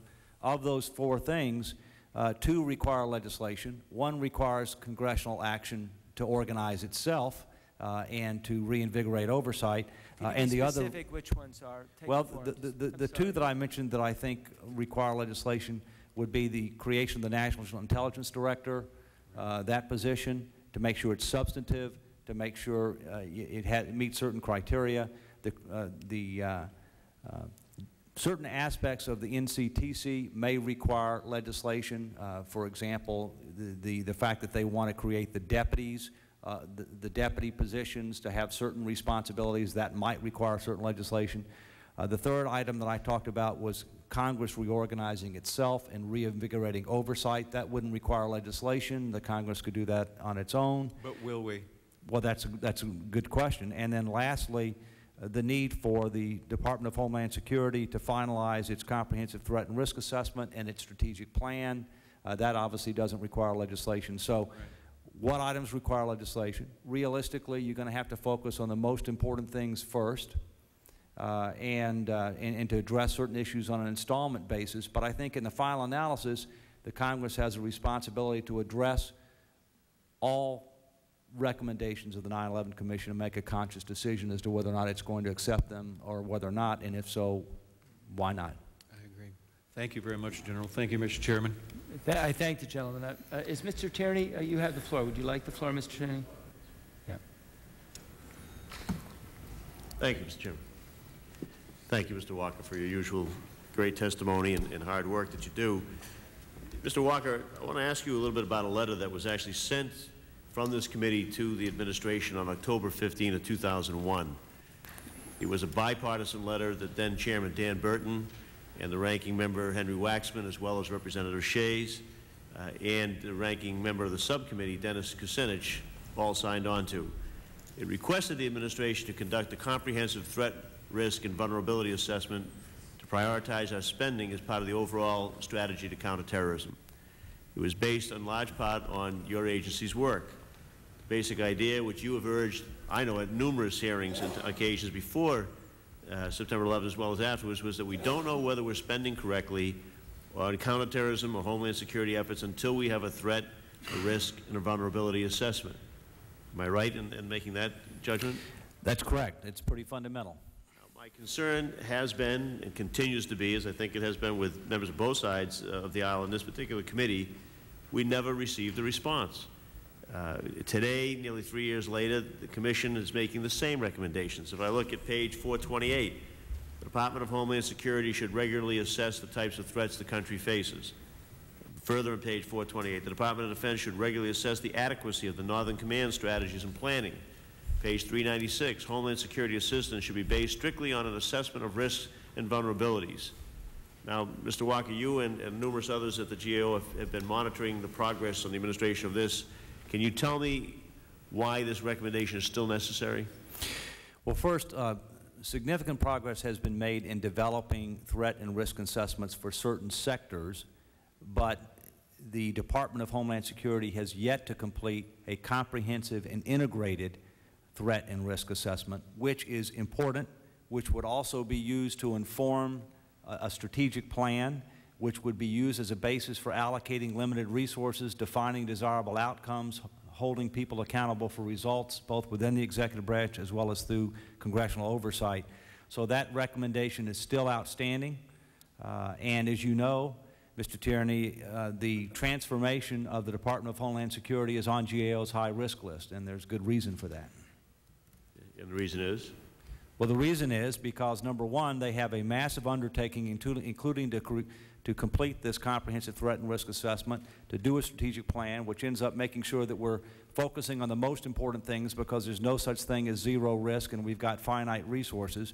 Uh, and uh, secondly, because they have to integrate uh, the, uh, the, the, policies, the systems, the practices of 22 plus uh, agencies uh, that were not together until within the last two years, many of which, quite frankly, their primary mission was not Homeland Security before September 11, 2001, and yet uh, most of which it either is their primary mission now or clearly a major part of their mission. I mean, I just asked you that to drive the point home, I think, more than anything here. We've, this committee, as I said before, bipartisan. This is not a partisan statement. The letters that have gone out, the votes that we've taken, the hearings and meetings that we've held, continue to try to pound home that point that we think that these uh, priorities have to be set. Independent commissions, I think of the Bremer Commission, the Hart-Rudman Commission, have all made the same point, but three years later, uh, we're still waiting for that to be done. So uh, let's hope that this hearing, as well as others, and, and, the commission report may bring that point home and we get something done on that, because frankly, it's, it's a little amazing that Congress has continued to appropriate money uh, and purport to give direction to different people when they haven't really had that kind of an assessment from which to work. Let me ask you from your experience uh, and your observations as well. Uh, the Commission is, has, advised that the Congress reorganize, reorganize itself and set up either a joint committee uh, on intelligence for the House and the Senate or individuals committees within the House and the Senate that have the goal uh, that the Commission set forth and to have budgetary control, things of that nature. From your perspective, is there a preference as to which would work more effectively, which would be better?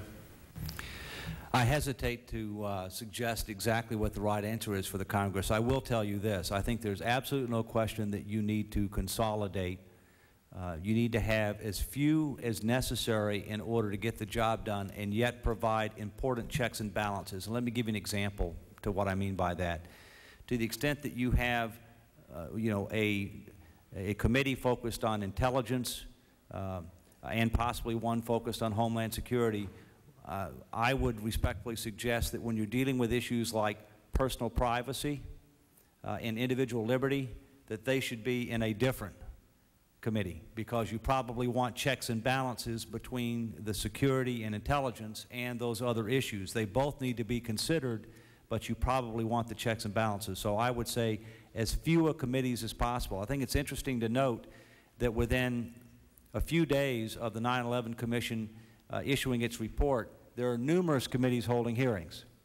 Now, in part, that, that, that symbolizes the need to try to, to consolidate things. On the other hand, in fairness, I think if you look at the scope of the 9-11 Commission's recommendations, you know, they cover a lot of areas. They cover foreign policy, they cover a variety of different areas. All of those cannot be and should not be consolidated into one committee, obviously. Thank you. Thank you. Uh, I know you said, General Walker, you didn't think that, you, you wouldn't- didn't want to be so presumptuous as to tell Congress what to do. I wish you would. As Mr. Tierney said, we appropriate, but we don't watch over these folks, and uh, we've got to get this under control and under control fast. There's absolutely no question that there needs to be much more extensive oversight than has been the case, and we can help the Congress in that regard, but we can do it in a constructive way. It doesn't have to be adversarial oversight. Well, I'm not sure I agree with that, but little brickbat once in a while. Mr. Turner. Thank you. Uh, Mr. Walker, we've had discussions about the legislative versus administrative action, but I was wondering if you could comment on, in reviewing the Commission's report, what do you consider to be the most important recommendations, and what recommendations, if any, do you disagree with? Well, I have not had an opportunity to analyze each and every recommendation, um, and so I wouldn't want to say if I disagree with any. I, I agree with many.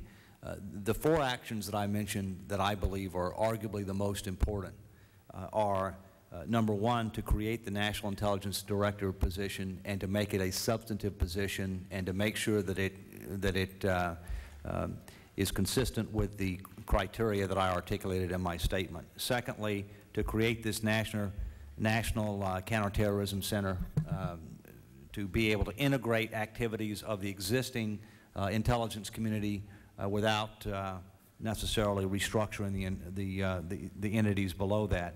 Thirdly, to look at congressional reorganization and in- invigorated uh, oversight activities. And fourthly, for the Department of Homeland Security to complete its comprehensive threat and risk assessment, its related strategic plan, which would serve as a basis to allocate its limited resources and to help uh, enhance congressional oversight. So those would be four thoughts.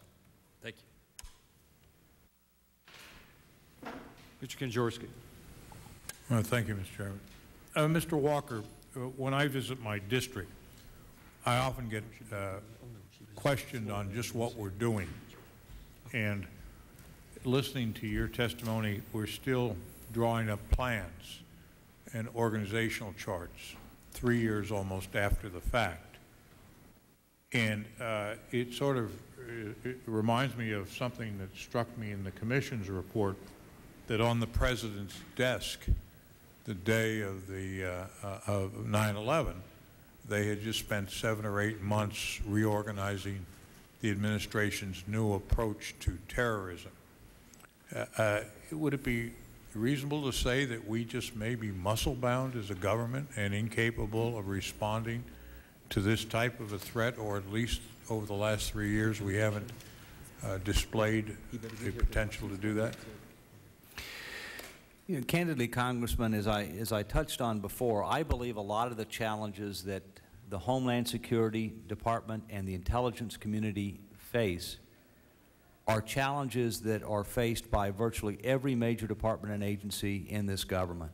And to a great extent, my experience having headed two executive branch agencies and now one legislative branch agency is that a large part of government is structured to focus on challenges uh, that existed uh, and to try to address those challenges based upon means and methods and management models that existed in the 1950s and the 1960s. Uh, and we are, in, we are in need of a fundamental review, reassessment, uh, and reengineering of how we do business. Uh, Well, and I understand that, but struggling over the management in, in a time of peril and taking two and a half, three years to do it strikes me as a pretty uh, slow pace. If in fact uh, we're faced with the threats that we periodically hear from uh, Homeland Security and from other agencies of the federal government. I mean, it seems to me, uh, uh, you know, we're, we're uh, in, in the uh, fourth quarter, the last two minutes, and we're still drawing up the game plan. Well, as you may recall, before September 11, 2001, the GAO had recommended the creation of an Office of Homeland Security within the President to try to be able to bring together some of these things. My view is, is that a lot of the things that are going to have to happen that, that require more fundamental transformation are going to take time. To engage in a fundamental transformation of any organization is a five to seven year effort at a minimum, no matter whether you're in the public sector, private sector, or, or not-for-profit sector. As a result, that's why I think the idea of having a national intelligence director trying to move with this NCTC concept and to do some of the things that I talked about are the most pragmatic uh, and the most meaningful things that we can do short term in order to try to help us get from where we are to where we need to be, while you can end up taking more time to determine whether you want to do other things that may take uh, considerably longer. You talked about resources. Ha ha has anybody made a, a uh, analysis of the amount of money that will be necessary to uh, provide border control, uh, shipping control, rail control, uh, uh, protection, et cetera, for the country? Is that analysis? Not to my knowledge. I mean, we really don't know then what's the cost of the war on terrorism. Well, I think one of the things that we have to do is, is part of the thing that has to be completed is to engage in a comprehensive threat and risk assessment because there's no such thing as zero risk in today's world, and yet we have finite resources. So one of the reasons that we felt so strongly is to complete that such that it would then be able to inform a discussion and debate within the executive branch and with the Congress about what should be done and, and what should be appropriate. When you say finite, uh, finite resources, uh, why do you say that? Uh, uh, do you have any figure that the war on terrorism? Well, in, in, in the final analysis, sure, I'm sorry, sir, go what ahead. will it cost us for Homeland Security? Um, First, it depends upon how you define Homeland Security uh, in, in determining what the cost is. I, I guess when I say finite resources, what I mean that, by that, Congressman, is uh, that we have, we need to spend whatever we think it takes in order to try to provide for reasonable security, recognizing we can't do everything and that we're facing large structural deficits that are likely to increase in future this years. is wartime. Pardon me, sir? This is wartime, basically. So I we're- understand We're that. not necessarily going to have the best plan, the most efficient plan, or, uh, uh, but we have to have a plan and we have to get on our way to do it. And, uh, I, I mean, is this going to cost us $2 trillion? Is it going to cost us $5 trillion? Until you have the comprehensive threat and risk assessment and the strategic plan from the Department of Homeland Security, it's impossible to answer that question. Absolutely impossible. It, it, it would be imprudent and inappropriate for me to answer it without, without knowing that. Well, Senator Kerry just suggested that maybe 10 or 20 years from now, uh, terrorism no longer be a threat. It was going to take us seven years to draw up the plan, and then it's going to take five or seven years to implement it. Maybe, maybe we shouldn't do anything because the, the threat may be over by then. Candidly, it shouldn't take that long to draw up a plan. And when I talk about implementation, there are things that can, that have been implemented already. I think it's important to note there are a number of things that have happened within the last several years. I give several examples in my testimony. There are other things that can happen quickly. When I talk about five to seven years, I'm talking about that's how long it takes in order to effectuate a cultural transformation in any organization. And it, it could be IBM, it could be the Department of Homeland Security, uh, it could, whatever. That's how long it takes. So what we need to do is to do other actions that can be done quickly that move us in the directions that we want to go, recognizing that, you know, some of the heavy lifting is going to take more time if you're talking, talking about cultural transformation. Thank you. Mr. Ruppersberger. Sure. Well, first, I, I agree with you. There's going to be time for transformation, but you have to start. And I think we have come a long way since 9-11. Uh, unfortunately, we always tend to criticize a lot and put blame, and we got to stop the blame game, learn from mistakes, set up the, the appropriate system that's going to work. Now, you've been here most of today, and a lot of the testimony has been about the creation of a national intelligence director, uh, which I feel very strongly that that needs to be done. And I think from a management perspective, that you need one boss, one person that's going to hold all agencies accountable for their performance.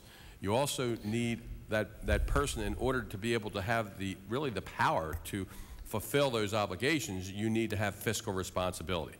Uh, we don't need window dressing, we need results. I'd like your opinion about uh, what, whether or not you feel that the National Intelligence Director should have fiscal authority, uh, and what, what authority should that authority or that person be in the White House, outside the White House? You know, a good analogy that I've, that I've seen so far is Greenspan. He has the independence to do what, what he feels based on his expertise, is right for the, co the, co the country, and yet uh, does work with the President, President and Congress. So let me have your thoughts on that issue. Well, first, I don't think it'd be a good idea for this person to be in the White House. And why? Because the White House is comprised of, uh, of many very capable and talented individuals who are not just concerned with policy, they're also concerned with politics. Good point. And I do not think that you want a person to be physically in the White House, no matter what party controls the White House, because they are going to be interacting day in and day out for many hours a day with people who are concerned not just with policy, but also with politics.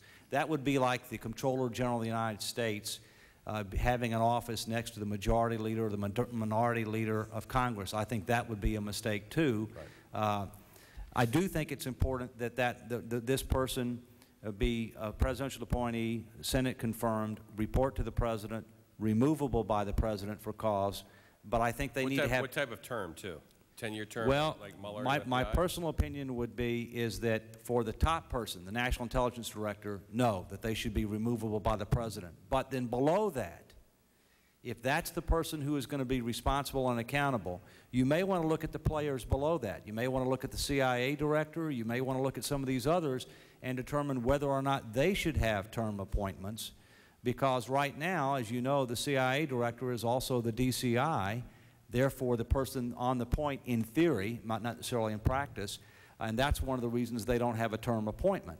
Uh, so I think you could look at that. I think there has to be solid line reporting responsibility by key players to the National Intelligence Director, although you, they could have to report to other players as well. They need to have budget authority.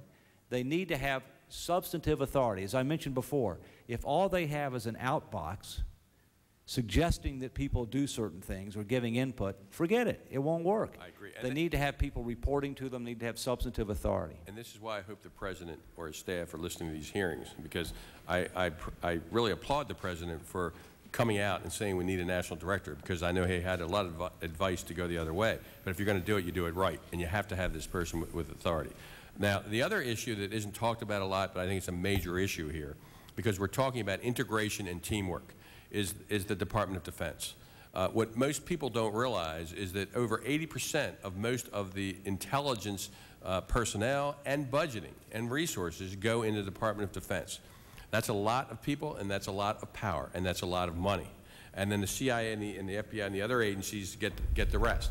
Now, I think it's extremely important that the DOD be at the table here. And there is a bill that, that a group of us introduced in April uh, the, the Intelligence Transformation Act, which also recommended that we have the, uh, the national director.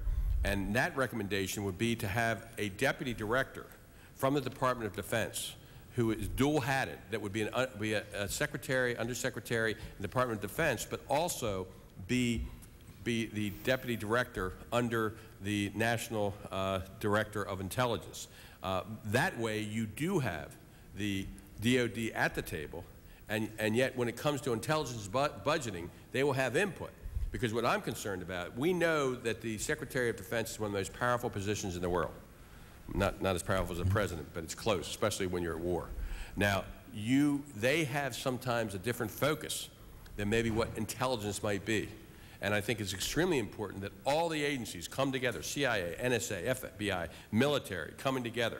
What, was you, what is your opinion about having Well, a dual-hatted deputy director from DOD? And Well, first, I think it's critically important that DOD be part of this. Uh, They, as you properly point out, represent over 80% of the resources. Let's face it, whether you're in the government, the public sector, or the private sector, whoever controls the people, the money, and the technology is who you pay attention to. Right.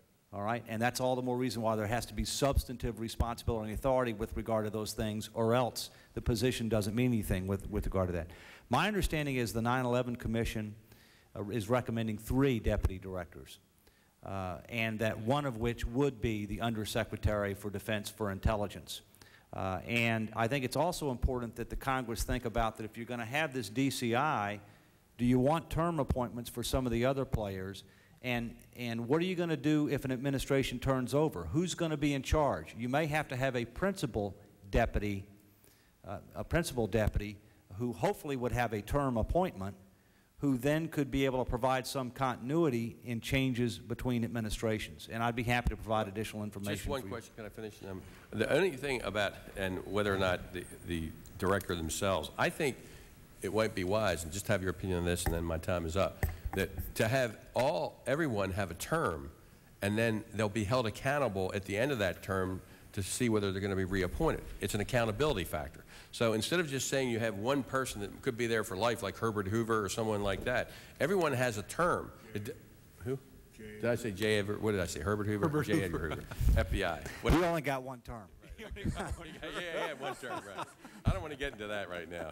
There's fiscal issues involved. I don't this either. term. But, but I do, but, but, you know, the Hoover issue, I think it's extremely important that, that you do have terms for all of the, the deputies and whatever. I think that's a good, and, and also the director. But then they have to come back for confirmation, and then they will be, their, their performance will be analyzed by, by Congress. What do you think of that? I think there are certain positions where there's strong merit to considering having presidential appointee, Senate confirmation for a term appointment with a performance contract uh, geared towards trying to achieve demonstrable results. Now, I think you have to be careful which ones. Right now, you have that for the FBI director. You think it Uh, works? I think it works pretty well. Uh, I think you could, you could consider it for other key positions in the intelligence community where you're talking about national security, which would be a nonpartisan issue. This is below the, the, uh, the director uh, for national intelligence. Uh, You could consider it for the CIA director. You could consider it for, you know, possibly for the Undersecretary of Defense for Intelligence. Uh, But my personal opinion is, is that whoever is on the point, uh, the, the, the president has to be comfortable. Whoever the president is has to be comfortable because that's the person they're looking to uh, for primary advice and to integrate uh, and, and to uh, different activities and to make sure the right things are being done and the right people are being held accountable. Okay, thank you. Thank you, Mr. Thank you, Mr. Ruppersberger.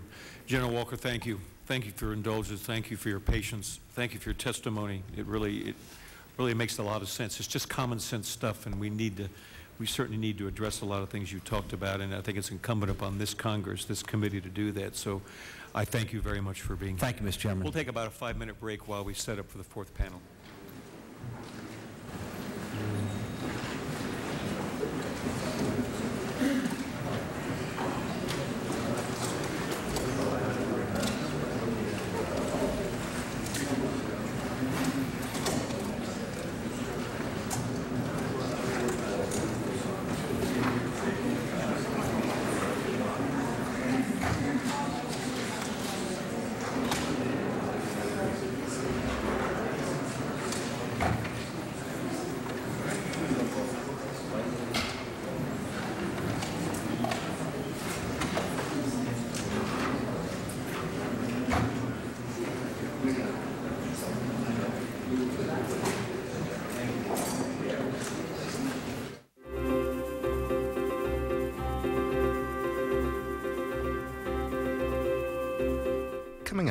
More testimony on the September 11 Commission's recommendations.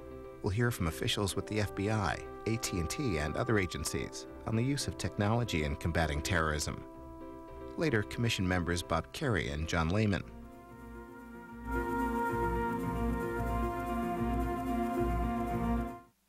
Tomorrow on C-SPAN's Washington Journal, political reporter Ed Tibbetts on campaign stops in Iowa by President Bush and John Kerry. Eliza Griswold on her New Yorker magazine article about the Pakistan-Afghanistan border. Then Reagan's National Security Advisor Robert McFarlane on his article about the creation of a National Intelligence Director. Washington Journal's live at 7 a.m. Eastern. Stay with C-SPAN tomorrow for more hearings on the September 11th Commission's report, with a focus on intelligence gathering from former NSA Director William Odom, State Department Counterterrorism Coordinator Cofer Black, and other counterterrorism officials, before the House Select Committee on Intelligence. It's live starting at 9 a.m. Eastern here on C-SPAN. And that hearing re-airs tomorrow night, starting at 8. The final panel in today's hearing focused on the use of technology in combating terrorism. This is about an hour and 20 minutes.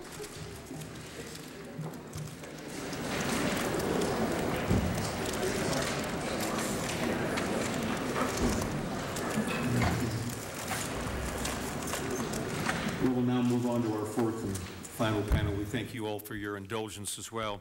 We're happy to have here today Dr. Paul Light, who is with the uh, New York University School of Public Service, uh, Mr. Bob Collette, is that right, Collette? Great. Who is the Vice President for Engineering, AT&T Government Solutions, Mr. Dan Duff, who is the Vice President for Government Affairs for the American Public Transportation Association, Mr. John McCarthy, the Executive Director of the Critical Infrastructure Pro uh, Protection Project, that's a mouthful, Critical Infrastructure Protection Project, and Jim Dempsey, who is the Executive Director, uh, Center for Democracy and Technology, and it is the policy of this committee that all witnesses would be sworn in. So if you would please stand and raise your right hand. You, you swear the testimony you're about to give before this committee to be the truth, the whole truth, and nothing but the truth? Please let the record show that all witnesses uh, uh, answered in the affirmative. Uh, it's the, um, we, we, we would ask um, that you would try to hold your testimony to five minutes to allow for some questions and answers, and of course your entire uh, statement will be made part of the record. So with that, we'll start with Dr. Light. Uh, thank you for uh, this hearing. Uh, thank you for your work. We've been here before. I know you have. Uh, no, we have. Uh, Yes, We've been here on a dozen issues over the last 10 years dealing with duplication, overlap, uh, lack of communication across federal agencies. We were here talking about IRS taxpayer abuse, uh, the nuclear security issue at the Department of Energy. Uh, We've talked about FBI reorganization several times, Homeland Security, um, food safety, you name it. Uh, in my testimony, uh, you'll see a, re- a reference to these issues in my uh, support for reorganization authority properly uh, defined and properly limited. Uh, but I believe that as part of whatever legislation you produce, that uh, you should give the president authority to be more proactive by way of reorganization than reactive. We've heard a lot of testimony today. It's, it's moving and important. Um, I have heard these recommendations uh, made before in other commissions. We have on the table, for example, uh, a number of solutions that we've uh, seen before, some that have worked, some that have not. We've had czars, some that have been strong, some that have been not strong. We've had reorganizations that have worked and some that haven't. On the issue of the uh, National Intelligence Director, uh, let me be clear uh, and off my testimony uh, that I believe the position should be separate from the White House. It should be at executive level one. That is cabinet level status. That does not mean the person has to sit at the cabinet table. That individual should have a term of office. A term of office does not imply that you cannot be fired. Uh, it is uh, hortatory in most cases, except for the Comptroller General, uh, whom we hire for 15 years and hope he'll stay. Uh, but a term of office sends a message to the rest of the federal bureaucracy that this person is going to be around, and the presumption is in favor of continuity. The president can always fire. Uh, uh, the question being whether you want to be so strict as to fire for cause, which is a more extreme measure, or whether you just want to give the president that authority. I absolutely strongly encourage you to give the National Intelligence Director some budget and personnel authority. This current proposal that's floating around, uh, today at least, is no carrot and no stick. And, and the, the, the czar is going to have to have some authority to make agencies respond, including uh, authority to require streamlining plans from the agencies uh, that he or she uh, receives information from. Um, let me suggest to this committee as you proceed with your deliberations that you be proactive uh, so that we're not revisiting this over and over again in reaction by uh, addressing the reorganization authority, that you deal with the uh, significant thickening of the bureaucracy that reports to the National Intelligence Director. It doesn't make any sense to add a new layer of bureaucracy if we don't delayer the existing agencies. We've got to do that.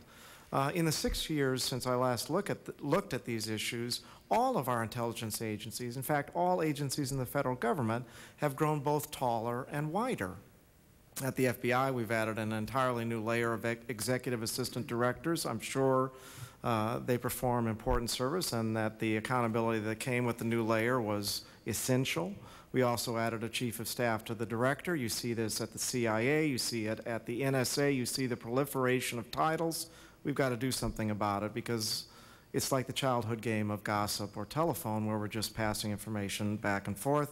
We absolutely must use this opportunity to fix the presidential appointments process. What difference will a national intelligence director make if he or she cannot be confirmed, nominated and confirmed, in a reasonable amount of time? Uh, the average time to get into office in the Bush administration was 8.3 months. It's a long time to wait, especially if we're in a, a transformation that's going to take seven years. Finally, we have to address the personnel issues embedded in the department. I believe you should give the national director, uh, the intelligence director, the same authorities uh, embedded in the defense personnel reforms and embedded in the homeland security reforms. I think those are important in terms of the, the discipline in the workforce of the new agency. Uh, it wouldn't be a bad thing for you to extend those authorities down into the intelligence community writ large. That's part of holding people accountable. I submit my uh, testimony for uh, the record, and I'll await any questions you might have. Thank you very Thank- much for having me. Thank you, Dr. Light. Mr. Collette, welcome. Good afternoon. Uh, Good afternoon. My name is Bob Collette. I'm Vice President of Engineering for AT&T's Government Solutions Division. Thank you for inviting us here to discuss AT&T's view on the need to share critical network infrastructure information. We applaud the consistent efforts of this committee to improve the overall infrastructure security of the federal government and the nation. At AT&T we take our responsibility to protect against inform information or infrastructure vulnerability very seriously. And we are constantly updating our network security in response to ever-changing threats against the network.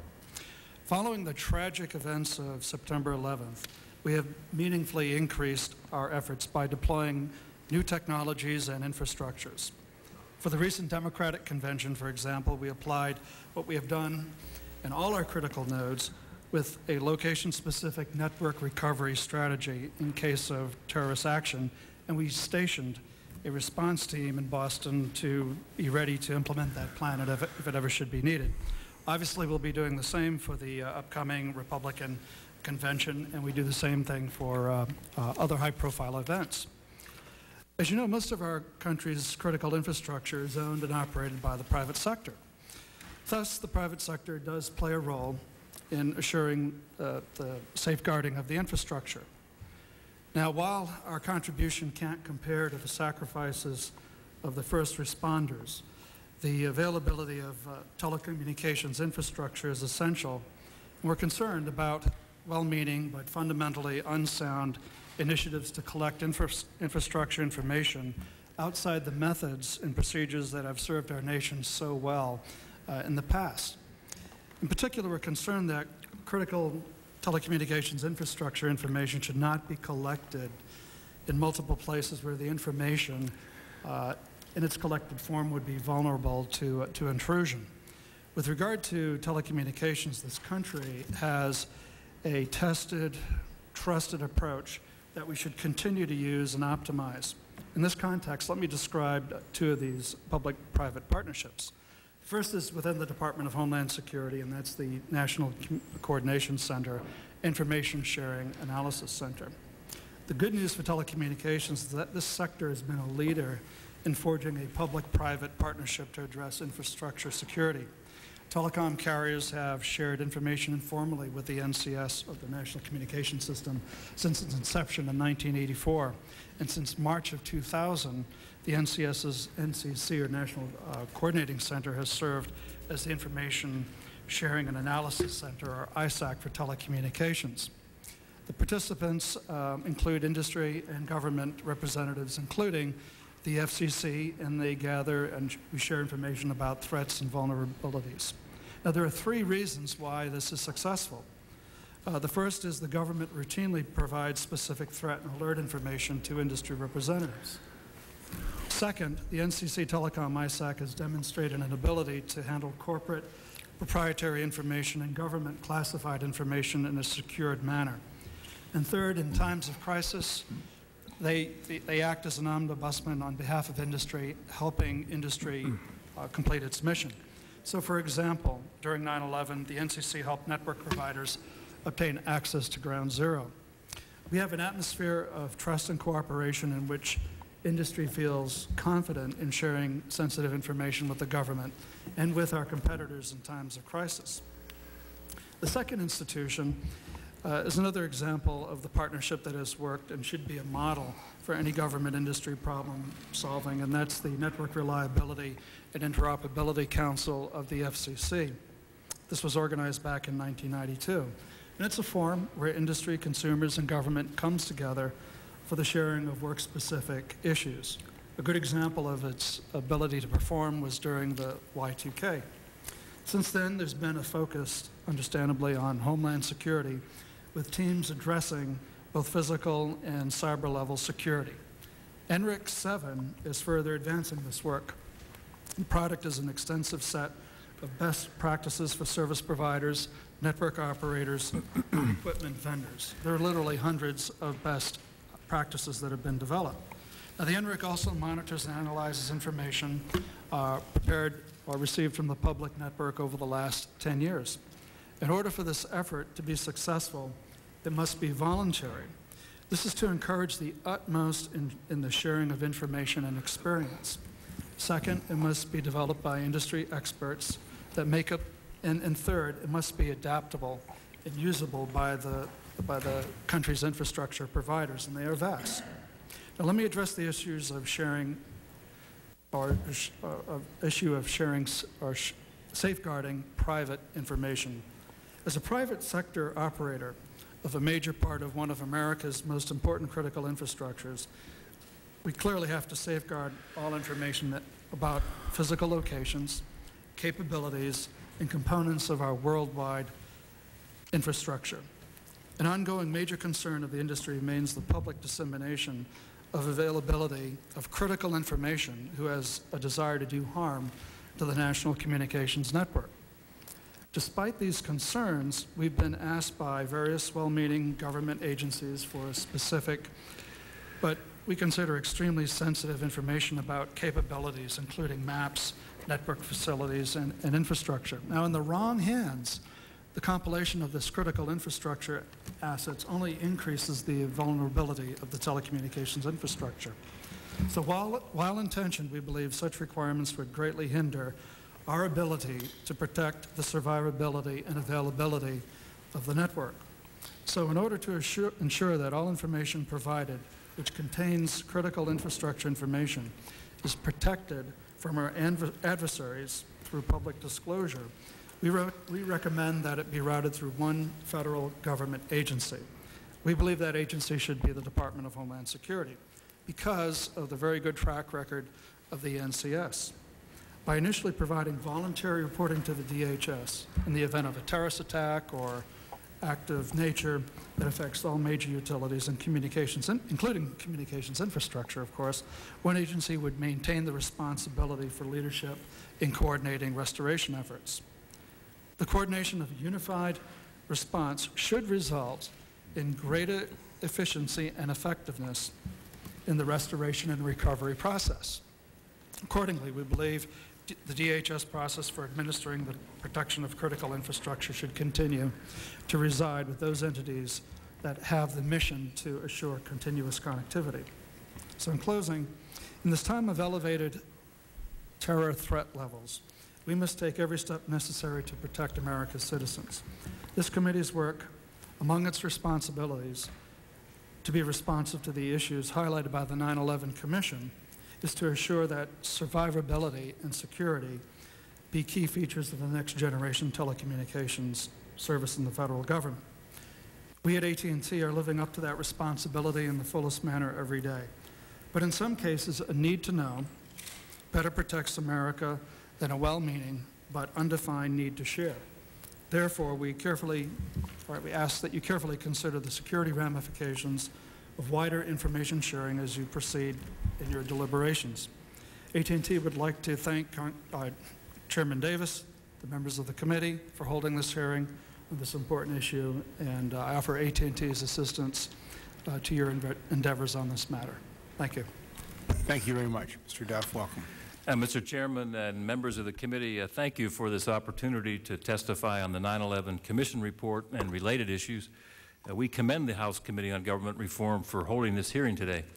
Let me start, if I could, with just a word about my organization, uh, the, the American Public Transportation Association, which is a nonprofit international trade association of over 1,500 public and private member organizations, including transit systems and commuter rail operators, and the businesses that provide the goods and services to the industry.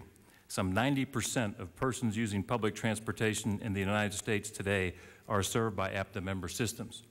A few background facts about public transportation. Over 9 billion transit trips are taken annually on all modes of transit service. People use public transportation vehicles over 32 million times each weekday. To put this into perspective, this is more than, the 16, more than 16 times the number of daily travelers aboard the nation's domestic airlines. The vast number of Americans using public transportation each and every day creates ongoing challenges for enhancing security within our transit environments. Since the events of 9-11, state and local public transit agencies, in fact all state and local entities, have spent significant sums on police overtime, enhanced planning and training exercises, and capital improvements related to security. In response to a recent APTA survey, transit agencies around the country have identified in excess of 6 billion in transit security needs. These include both immediate capital investments and recurring operating expenses related to security. In the months following the September 11th terrorist attacks, transit agencies of all sizes worked to identify where they might be vulnerable to attacks and increase their security investment for both operations and capital activities. The agencies subsequently upgraded and strengthened their emergency response and security plans and procedures, taking steps to protect transit infrastructure and patrons and increase transit security presence. All transit system buses and trains are equipped with two-way radio communication systems that are connected to their respective operations control centers. Many transit systems have been in the costly process of upgrading these systems to ensure their reliability. While many transit agencies are more secure than prior to September 11th, much more needs to be done. And one of the key measures that the transit industry recognized it needed to do was focus on enhanced communications. In that regard, public transportation is recognized by the federal government to be one of our nation's critical infrastructures. And APTA is pleased to have been designated Public Transportation Sector Coordinator by the U.S. Department of Transportation. And in that capacity, in January of 2003, APTA received a $1.2 million grant from the Federal Transit Administration to establish and fund a Transit Information Sharing and Analysis Center for its initial two years of operations. This ISAC for public transit provides 24-7 a secure two-way reporting and analysis structure for the transmission of critical alerts and advisories.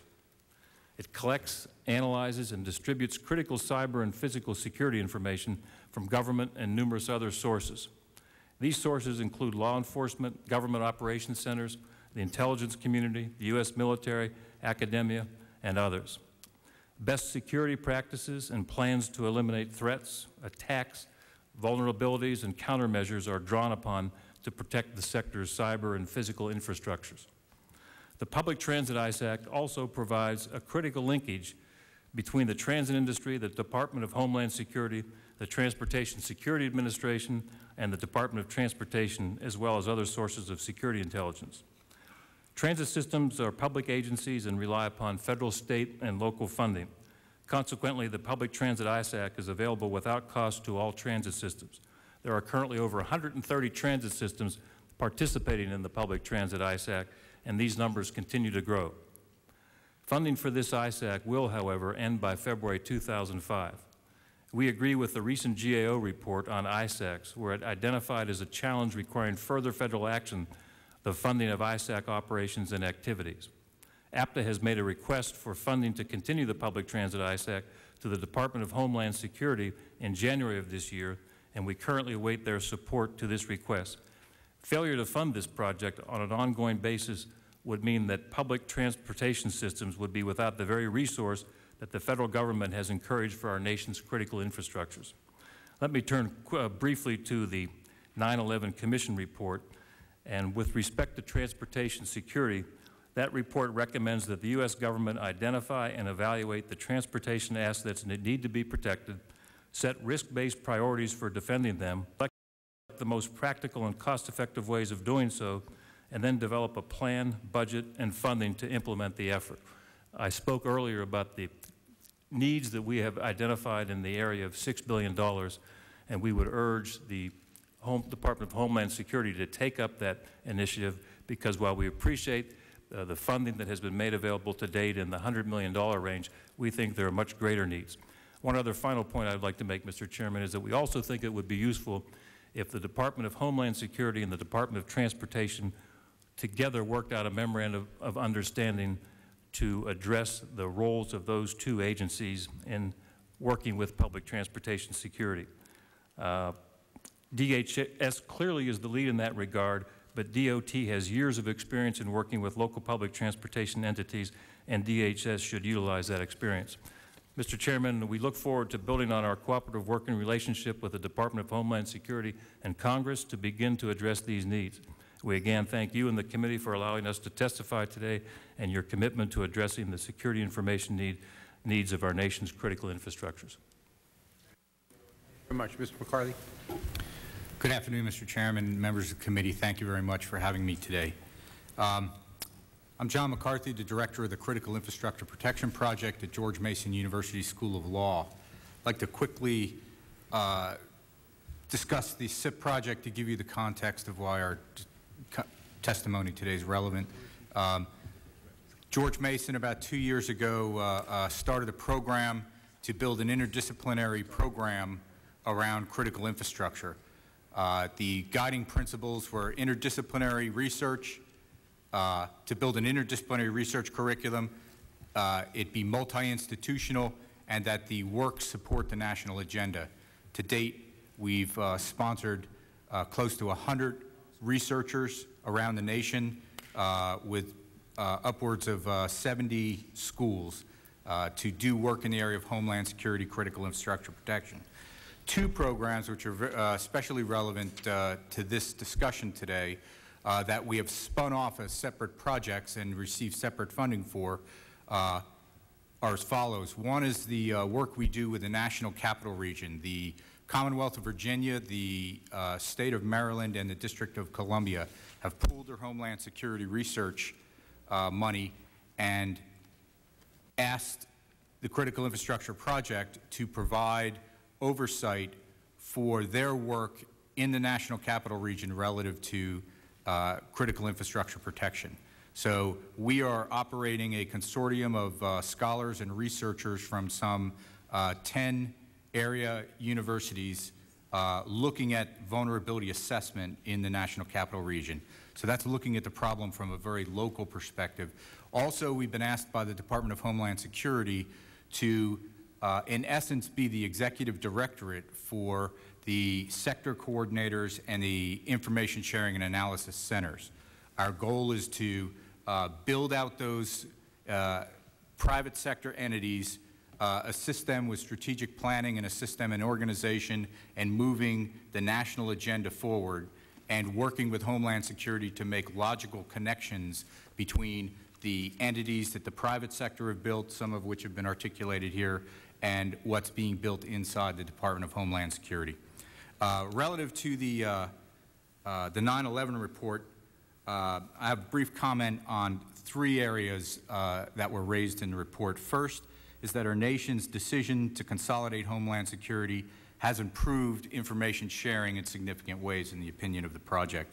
DHS is focused and energized on uh, sharing threat information uh, in providing a single point of contact. The new department is working to provide an efficient way to share threat analysis, analysis and disseminate sensitive information to the right people at the right place at the right time.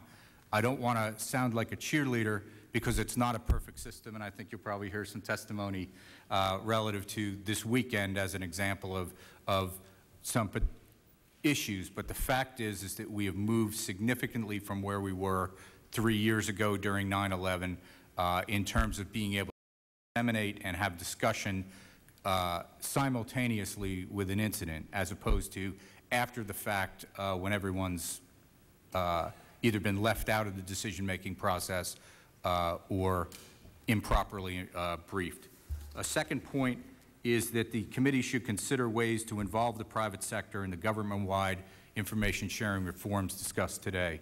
This idea, uh, and it was mentioned by several of the previous panels, uh, while you are focused on, on the uh, uh, formation of the and reformation of the intelligence community, one critical piece that cannot be left out is all the work that's being done in the private sector, uh, the, the ISACs and the sector coordinator activity, and how that can roll up in a logical way and touch these new entities.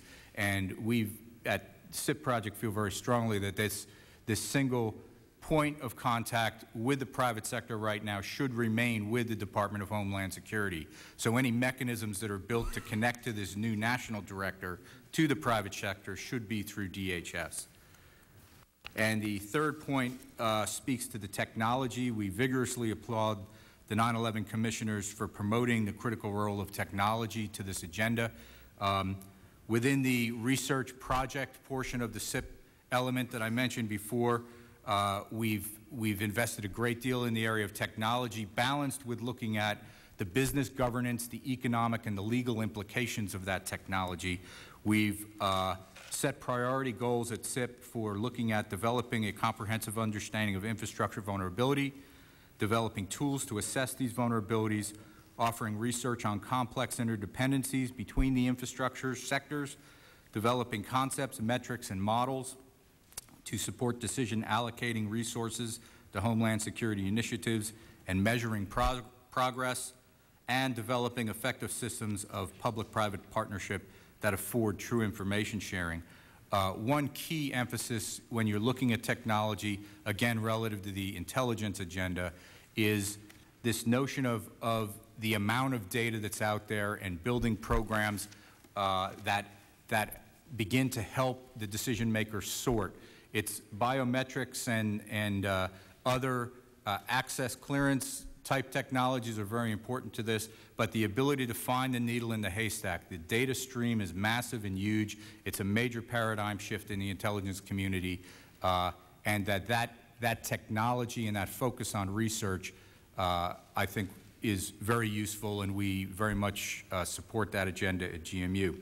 Uh, one question that I'd like to uh, address that was brought up in some of the previous testimony was the idea of moving the Commission forward. One project that we, uh, a very important project uh, that we sponsored using the CIP money, it was an oral history of the President's Commission on Critical Infrastructure Protection, another feeding commission into the, the, the body of knowledge uh, that's led up to the discussion today. And one of the, uh, one of the key lessons that we learned in analyzing that previous commission's work um, was that the commission, almost immediately after it reported out, and the result of that was the signing of Presidential Decision Directive 63, the commission was disbanded and there was very little interaction between the entities that took over to implement the findings of the commission and the former commissioners. And one major theme that's come out of our preliminary study of the oral history is that you should not let that happen. And I think I heard that message loud and clear, and uh, uh, I hope that was recognized by the committee. And one final point, uh, uh while outside the scope of the CIP project and, the, uh, and my testimony today, I'm sure I'll be asked in terms of the uh, National in Intelligence Directorate and the formation of that. Based on my prior government experience, uh, I strongly support uh, my colleagues and the suggestions today that it should be outside the White House, but kind of for um, another set of reasoning, and it goes back to a prior life as a Coast Guard officer and a commanding officer of a ship. the notion that the CO never stands watch. When you put a critical function like that intelligence uh, integrator into the White House, you're in essence co-locating that person with the president and it's an extension of the CO's authority. The CO should be standing back and watching and managing and having activity develop and be able to step in when problems arise. And when that's co-located in the White House, I don't think that that can happen.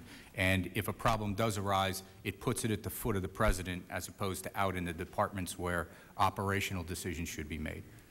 Uh, thank you very much yeah. for the opportunity. Uh, th thank you very much. Uh, Mr. Dempsey. Good afternoon, Mr. Chairman, members of the committee. Thank you for the opportunity to testify today at this uh, first hearing in the House of Representatives on the recommendations of the 9-11 Commission. It's a privilege to sit here at this table following uh, Commissioners, uh, Secretary Lehman and Senator Kerrey, and the families of the survivors. To both the commissioners and the families, our nation owes a debt of gratitude for their uh, dedication and commitment and insight. There are three issues confronting the President and the Congress today and in the coming weeks that I would like to address. The first question, how can we better share intelligence information, law enforcement information at all levels of government in order to prevent terrorism? Important progress has been made since 9-11 to improve information sharing, but still we do not have a decentralized, dynamic network for the sharing of information. Still, there are uh, technological barriers as well as institutional barriers. The Markle Foundation has a task force on national security in the information age. This is a task force that has been in existence now for three years. It's made up uh, on a bipartisan basis of experts with national security backgrounds from the uh, Carter, uh, first Bush administration, the Reagan administration, uh, the Clinton administration, experts from the technology and privacy field. They've issued two reports. The most recent one was in December of last year, creating a trusted information network for Homeland Security. And they spell out in that report how, using off-the-shelf technology, it is possible to build a, a, network to better share information. This network, uh, the tools are uh, available. It's based upon right to release. It's based upon federated uh, searches across agencies. It's a system that promotes horizontal sharing of information and downward sharing of information as well as the uh, stovepiped and uh, upward sharing of information. It uh, is based upon uh, writing reports uh, to be uh, disclosed, using tear lines to protect sources and methods. This we need to get on with building this network. There are steps that we can take uh, beginning immediately with uh, establishing directories and pointers so that at least we know what we know and so that we can find out who has the information. The second question confronting the President and this uh, Congress is who should be in charge of the information and intelligence sharing and analysis effort. Now, with the recommendations of the 9-11 Commission and with the decision of the President yesterday, that question has been answered to some extent if we establish and move forward, as the President has said he will, with the Director of National Intelligence. There are many important questions to be addressed, uh, including eliminating duplication and correcting or clarifying the lines of authority between existing analysis centers. But certainly a key part of the role of the Director of National Intelligence should be the establishment uh, of that um, answering of those questions. The third question is how to do this while protecting the privacy and the civil liberties of ordinary citizens. Now, the 9-11 Commission was 100% clear that uh, we can and must address this threat of terrorism consistent with our civil liberties. They called for an enhanced system of checks and balances to protect precious liberties that are vital to our way of life. The Gilmore Commission, chaired by uh, former Virginia Governor Gilmore, reached the same uh, conclusion. The uh, TAPAC appointed, the Technology and Privacy Advisory Committee appointed by Secretary Rumsfeld, also stressed the importance of protecting privacy. And the Markle Task Force Part of the answer is in the technologies themselves. Anonymization, technologies that will minimize the amount of um, information that is collected, quality control measures, uh, auditing trails to make sure that uh, information is not being abused or misused or compromised, and also the policies. The wall is now down. Uh, no one is proposing re-erecting it. Intelligence agencies and law enforcement agencies are sharing information as they never did before. The government agencies have broad collection authority. There's really not any information that uh, the government does not have the legal authority to get. But the Privacy Act and our other rules are outdated. And uh, the guidelines have not been put in place for this new information sharing environment. And these guidelines uh, need not tie the hands of investigators and law enforcement and intelligence officials. In fact, the guidelines can empower the officials as well as constrain them by telling them what is permissible and what they are authorized to do. We will need oversight, both congressional and in the executive branch. This Congress was wise in creating a privacy officer and a civil rights and civil liberties officer when it created the Department of Homeland Security. Similar mechanisms need to be created for the new information sharing structures. But at the end of the day, the oversight, accountability mechanisms will benefit both national security and civil liberties. Well-implemented accountability need not impede intelligence operations. Checks and balances result in clear lines of responsibility, well-allocated resources, protection against abuse, and the ability to evaluate and correct past mistakes. As this committee moves forward to implement the uh, recommendations of the 9-11 Committee, Center for Democracy and Technology and the members of the Markle Task Force are at your disposal to work with you and move forward in achieving our, our shared goals. Thank you, Mr. Chairman. Let me just thank all of you for being patient, staying with us today. This is uh, this testimony is important as we uh, contemplate where we go from here as a committee and as a Congress. L let me start the questioning with you, Mr. Light. You've, uh, you're no stranger to this committee. Um, in addition to the other elements, you hit on two major themes in your testimony. One, that there are too many layers of bureaucracy in our federal government, and two, that Congress needs to reauthorize executive reorganization authority. Uh, to me, these two issues seem to be intertwined. Uh, would you agree that much of the bureaucracy comes from congressional micromanagement and that reorganization authority would be one way to try to diminish some of the micromanagement and free Congress to focus on broader policy goals? Um, I agree absolutely with the second. Um, the layering of government, this thickening that I talk about, uh, is like kudzu. Uh, it grows from many uh, sources. Uh, some of it's micromanagement, some of it's perfectly legitimate expansion uh, due to congressional decisions and, and, executive decisions on policy priorities.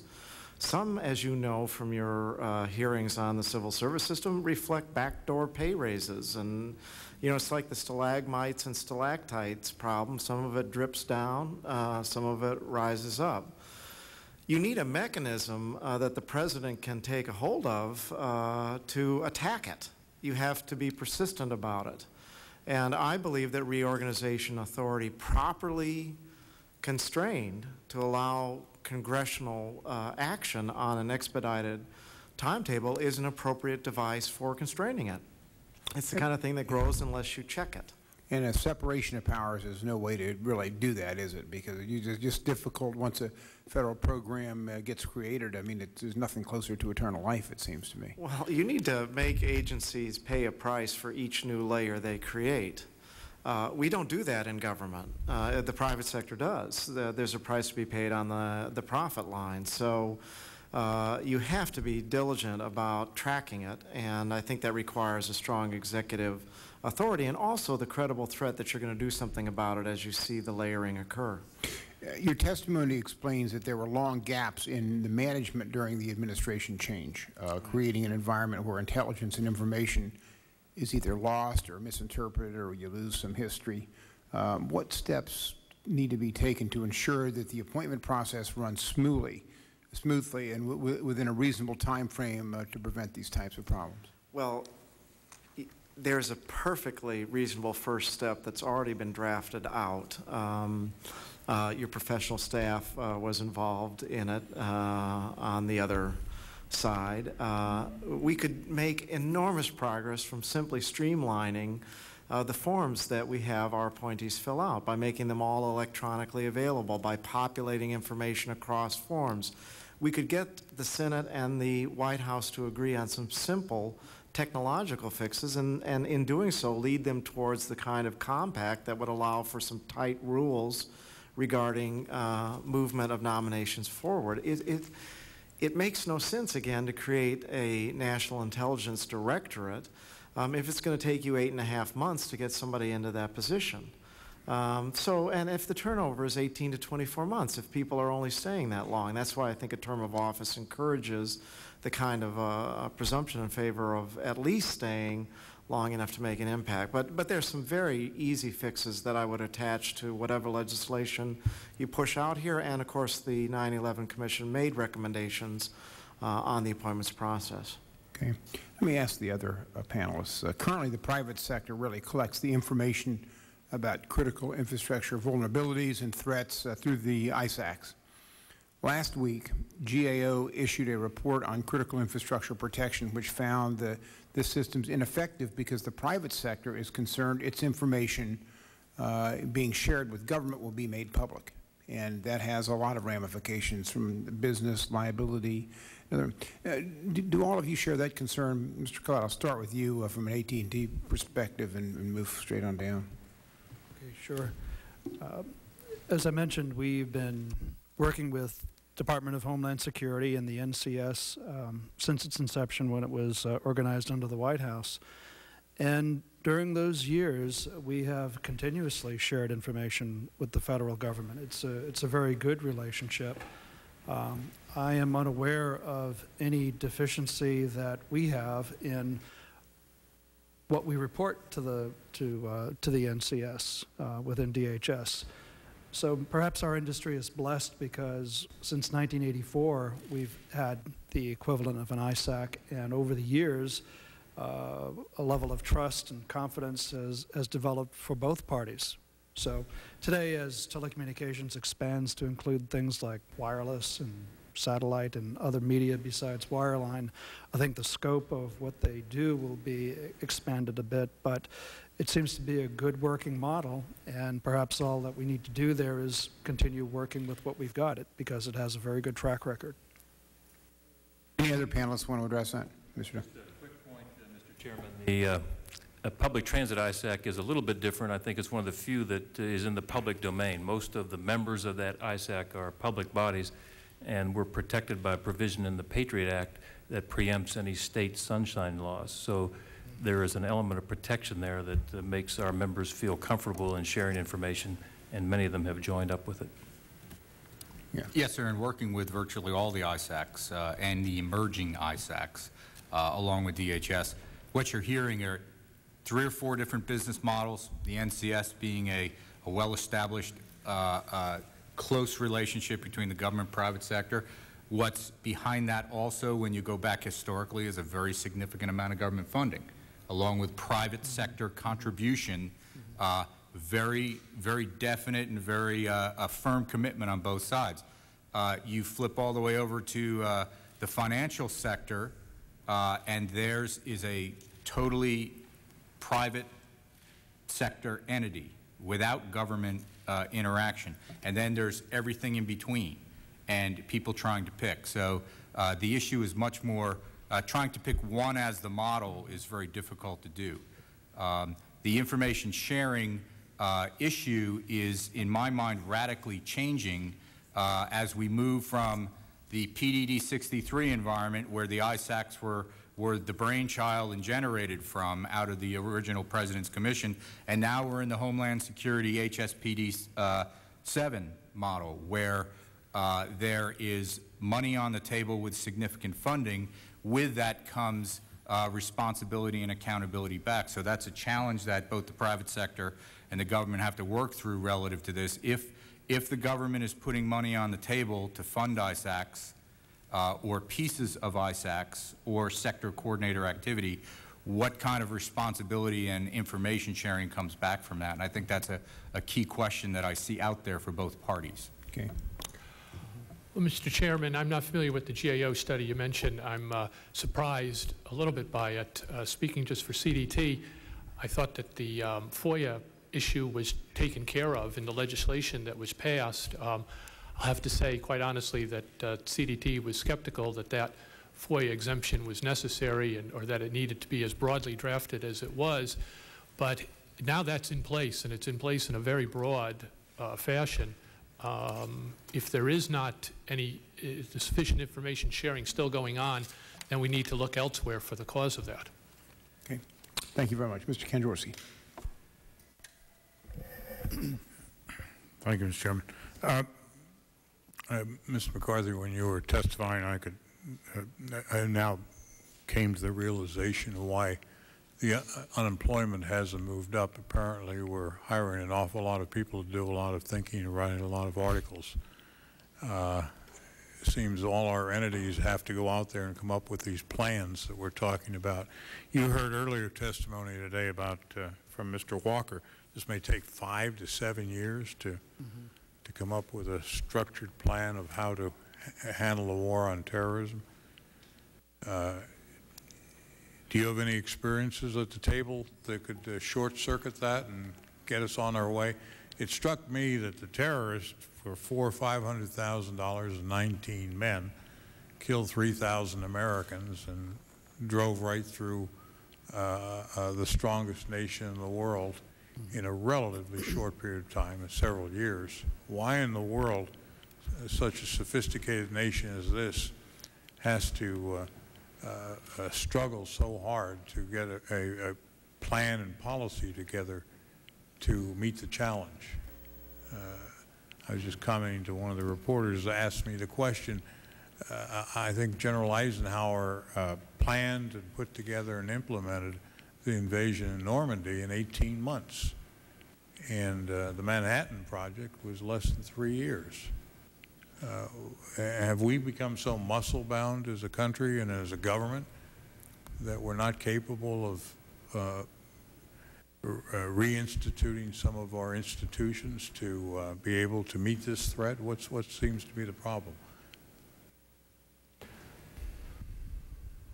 Well, Congressman, if I could venture, venture to answer that, I don't think it takes that long. I think uh, we have to all recognize and appreciate that uh, very important strides have been made since 9-11 in improving information sharing and increasing cooperation between uh, law enforcement and intelligence agencies. Uh, the President said it. Uh, the 9-11 Commission said it. We're safer, but we're not safe. Well, I think they say that. But if you get out in, in the country, and you talk to the first responders, they're going to tell you they don't have any damn equipment to handle biological attack, chemical attack. They have no training. They don't have the vehicles. Well, the state and local piece is often the most overlooked piece of this. I think on the information well, sharing side as well as the preparedness well, that, and well, that's where the problem is going to be. I mean, that's where the people are going to die out there in the street. They're not going to die in the Capitol here, or maybe a few of us will. But it's, uh, the, the ones we're worried about are out there in the street and the first responders to them, they haven't heard any of the, I think I talked to Tom Ridge the other day, and a, a minimal amount of, uh, uh, of the Homeland Security money is starting to trickle out through the various established state entities. Uh, well, I won't comment upon the equipment piece because that's not really my area of uh, expertise, but on the information sharing piece, we heard uh, today from both the uh, commissioners as well as from members of the committee the concern about the fact that in the past, so much information was tightly held.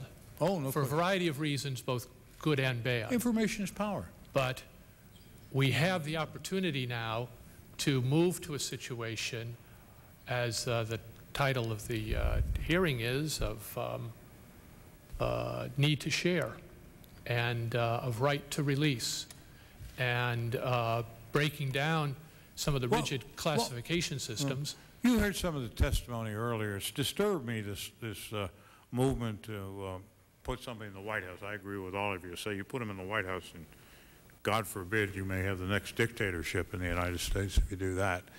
But, uh, and I'm not just talking about this White House, I'm talking about any White House, putting an intelligence person that controls that amount of information and money in a political home such as the White House.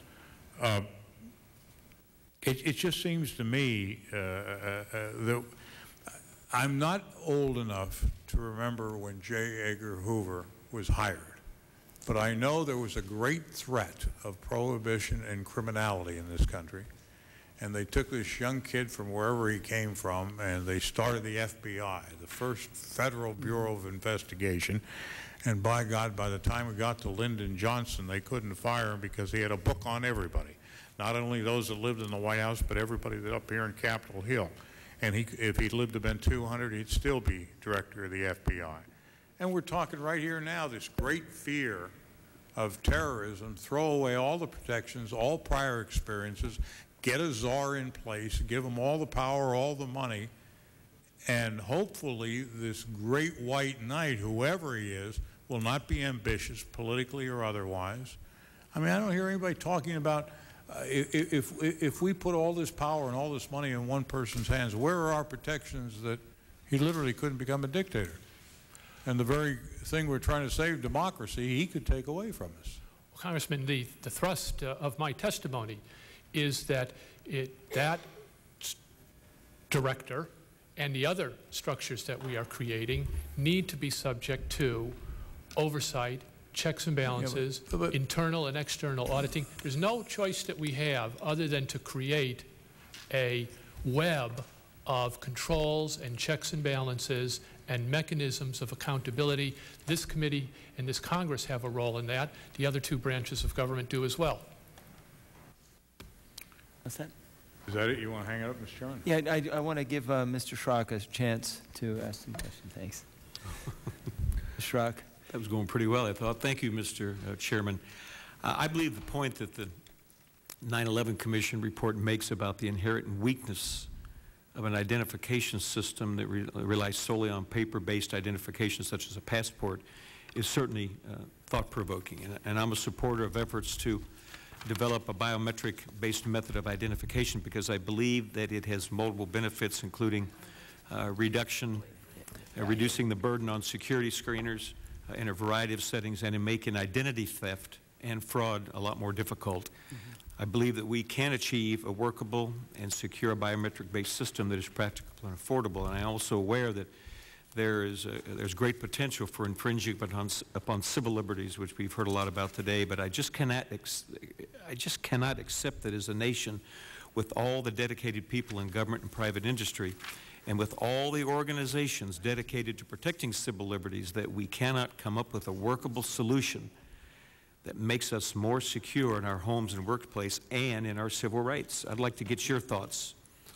on what you believe the greatest challenges are in achieving a system of biometric-based identification similar to what the uh, uh, Commission recommends. In- Any of you? Individual acceptance.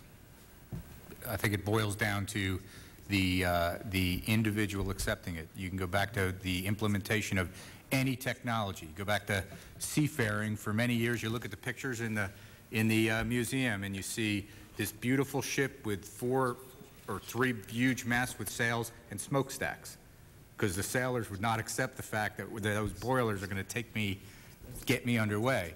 Uh, all the stories about the people not using the ATM machine when it first came out that is going to steal your money instead of give you the money back. It's acceptance on the part of the people. And I'm not sure, no matter what kind of timelines, uh, directed or driven or pushed, that that's ever going to change, And reliability. and the reliability of it. I also think we have some contemporary examples to look at. I think just a few years ago, people were concerned about shopping over the internet because they were concerned about identity theft or security.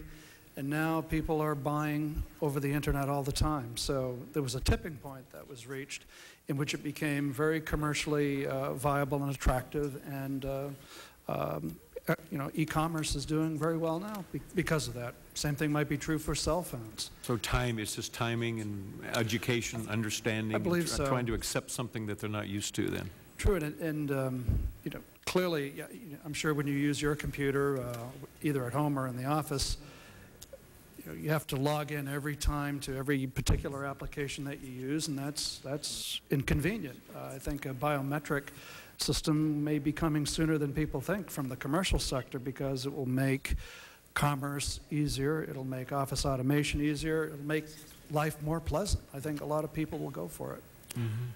Dr. Lane.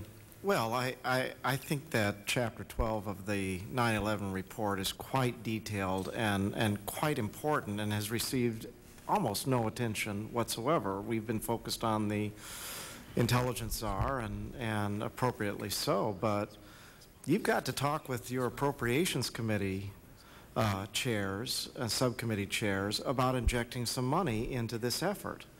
I talked to the people at DHS, and they're telling me that they're being nickeled and dimed to death, and they, they just don't have access to the dollars they need. Now, I'm not saying you have to double their budget, but, um, you know, we're at a point where you may need to raise uh, uh, the budget and also allow the department to hire more people. Much as we hate bureaucracy and big government and so forth, it may me mean that we have to inject some more resources into the effort. Congressman, if I could. Yes, sir. Um, As uh, Mr. Light said, the recommendations of the Commission on uh, biometric identification and screening are some of the most important and detailed recommendations. At the same time, the Commission also uh, notes that there are very important and very difficult unanswered questions about moving forward. They recommend what has, I think, become uh, the accepted uh, path, which is uh, strengthening the state driver's license. Uh, the Center for Democracy and Technology last year issued a report looking at uh, practices at the state DMVs, and they have a serious uh, security problem. They have, um, of course, people getting issued, legitimately issued but fraudulently obtained state driver's licenses. They have people breaking into DMVs and um, stealing the machines and stealing the blank uh, cards and then being able to mass produce their own very authentic looking biometrically based uh, ID cards. Um, they obviously have a corruption problem in uh, a decentralized system where one employee uh, can uh, earn some money on the side. Uh, so we have some problems there. The, the National Academy of Science issued a report a couple of years ago on IDs, and the title of it was something like Harder Than You Think. Um, the process of issuing on a massive basis a, a national, uh, uh, an ID card system, not a national ID card, but improving biometrics, even using the state uh, driver's license is hard. We are working, or the government is working through DHS with the U.S. Visit Program to establish a biometric uh, entry-exit uh, visa system uh, under the U.S. Visit Program. That is beginning. Uh, 500 million visitors a year. Um, it's only been partly implemented. I think we need to learn from some of the lessons there. The uh, Center for Democracy and Technology and the Heritage Foundation, uh, you might think of as one organization on the left of the political spectrum and one on the right of the political spectrum. We recently issued a joint report, one of several joint reports actually that we've issued on information technology issues. We recently issued a report on biometrics, laying out some of the concerns and factors that need to be taken into account, uh, both on the privacy side as well as on the security side. Thank you, Mr. Chairman. Thank you, gentlemen. Um, I'll have a number of questions, and I, I, I, want you to know that sometimes the last panel, uh, it's the end of the day, um, we seem to talk a little more softly and so on, but I, I learned some of the, my most interesting information from, from the panel. Sometimes it goes last, so I'm, I'm eager to ask you all a few questions. I, I want to know, um, and you don't have to go in any particular order, but I want you to basically tell me the following. What you think was the most important proposal, what you think was the least propose, uh, most important, or maybe a proposal that you frankly don't like, uh, and I want you to tell me where you think the hardest challenge will be. So the first thing, I just talk about the proposal that you like the most uh, in this, the thing that you were happy to see in the report. And I'm going to say to you up front, and it may be evident, I think they did a hell of a good job. And I think it's almost inspired. Um, inspired in this sense. They, I feel like they, they, they had a higher calling. I think they all of a sudden said, wait a second, we're out too much, we're politicizing, this can crash. Uh, And then I think Senator Kerrey, when he described when they talked about the events, it kind of woke them up. That's the feeling I get. So I view this as a very important uh, uh, work, and I want to treat it with the importance it deserves.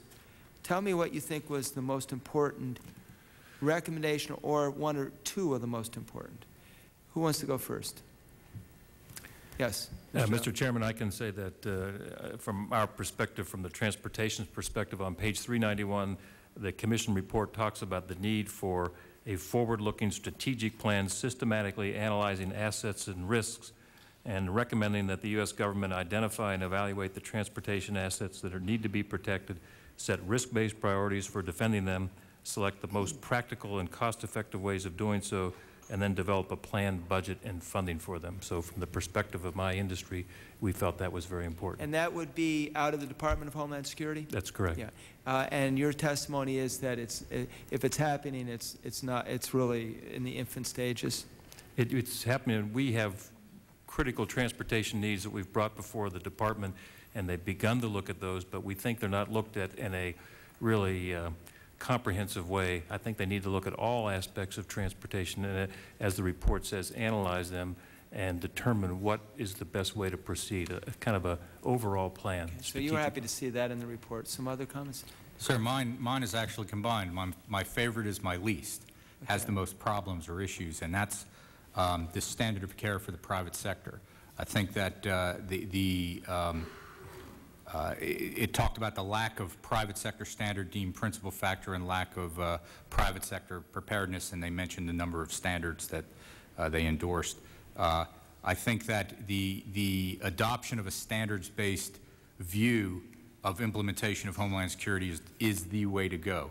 Uh, the it, where the report, I don't think, went far enough is that what one standard doesn't fit all, even across critical infrastructures and even within a critical infrastructure. Give me an illustration, so. A- An not so- illustration would be a chemical plant, okay? The security on a chemical plant. You have a chemical plant that's located in a totally isolated area away from a population. You need minimal security. Somebody should not be able to walk onto that plant Right. freely, et cetera, et cetera, all the horror stories you hear.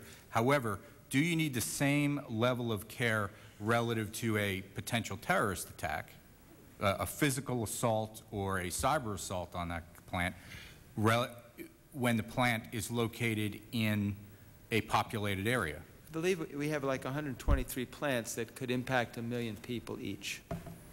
Is that not the statistic? In other words, there are a number of chemical plants that are in the heart of urban areas.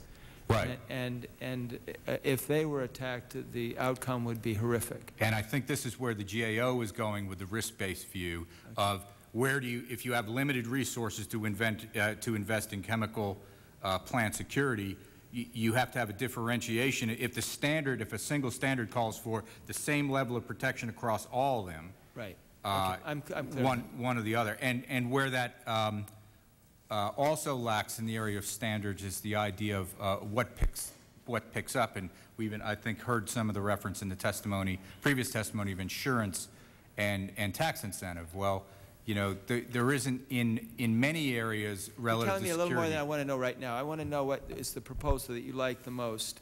And They- let me- It was the implementation of a standard. Okay, let me, because I'll come back It to you. needs to be refined. Mr. Dempsey. The uh, most important, uh, were twofold really. One is the endorsement of the uh, share network concept and specifically citing the Markle Foundation Task Force.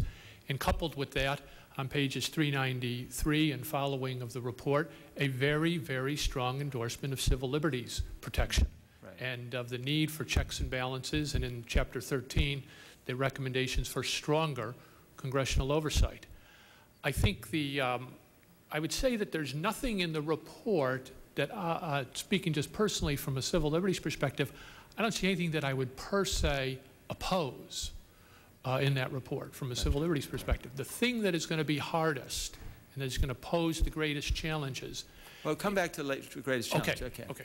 The, uh, the thing that you were most happy to see in the report, Mr. Collette? Sir, um, I would also have to agree. It's the- Your mic is, you know, you have a terrible mic. Don't, don't even bother. Just grab somebody else's. Okay. Well, it's- Is that better now? Yeah, it's okay. You can use it. It's not great. Okay. Um, I also agree that it's the, the shared network concept. Uh, Five years ago, none of this would have been possible, but uh, with the development of virtualization across network layers and information technology, it is now uh, very doable and achievable. So as a network company, we find that uh, very attractive. Uh, You're asking what is it that we uh, didn't like, and I would have to say perhaps maybe an overemphasis on the, the, the, the need to know versus the need to share.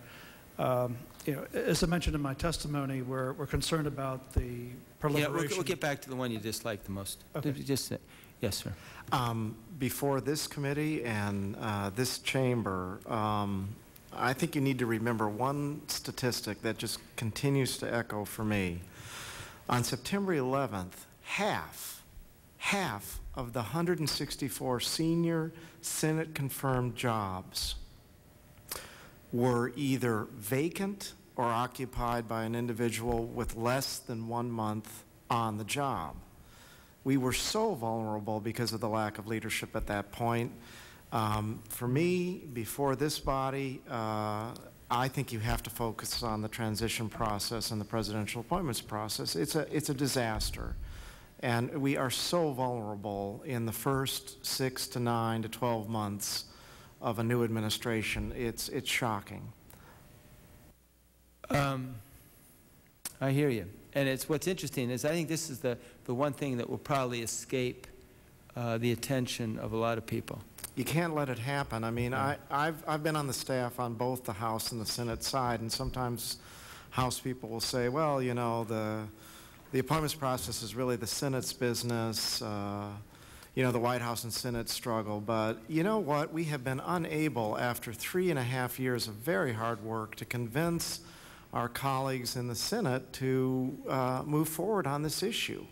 If not you, it's just not going to happen. You have the uh, distance, perhaps, to argue favorably for action on improving the appointments process. Fascinating.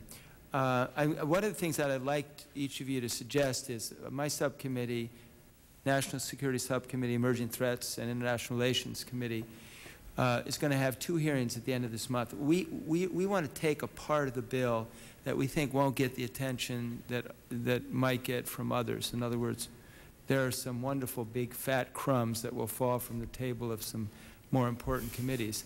Uh, and we want to identify those. Uh, and that may be one. Uh, tell me um, the thing that concerns you the most about the report. Not which is the hardest to pass, but the thing that, that you know, you looked at and said, gosh, I mean, I'll tell you the one that concerned me, just to give you an example where I'm coming from. The concept that somehow the White House would have operational responsibility. And I'm not sure I'm being fair to the commission, but that was the one area that I thought, you know, it just had too much the feeling of Watergate and people in the White House and power to, you know, to, well, you get the gist. Um, what, what are the areas that, that, that might have concerned the, the five of you? Uh, one, one area that, and it, it speaks to the organizational piece, not necessarily the intelligence, but the broader uh, strategic organizational piece, and that is building into this a um, just that, a view that's beyond the, the immediate threat out to the next six months. How, how do you build into the organizations a, a longer view? In DOD, you have two kind of activities going on simultaneously. Uh, one is that immediate activity to support the, the I want to needs follow happening what you're now, saying. I mean, and this that is longer term. This is an important point, but how, does that relate to the report? Was there something in the report that, that, that was in there that you disagreed with? Or are you talking about something that wasn't? It's something that I think belonged, needed more emphasis in the report. There's subtleties in there. Hey, to give you an example, in critical infrastructure, um, if you look at the organizational structure for Australia, for instance, for their CIP, so you compare our IAIP to what Australia has, they have a piece built into it that's called the Futures Group.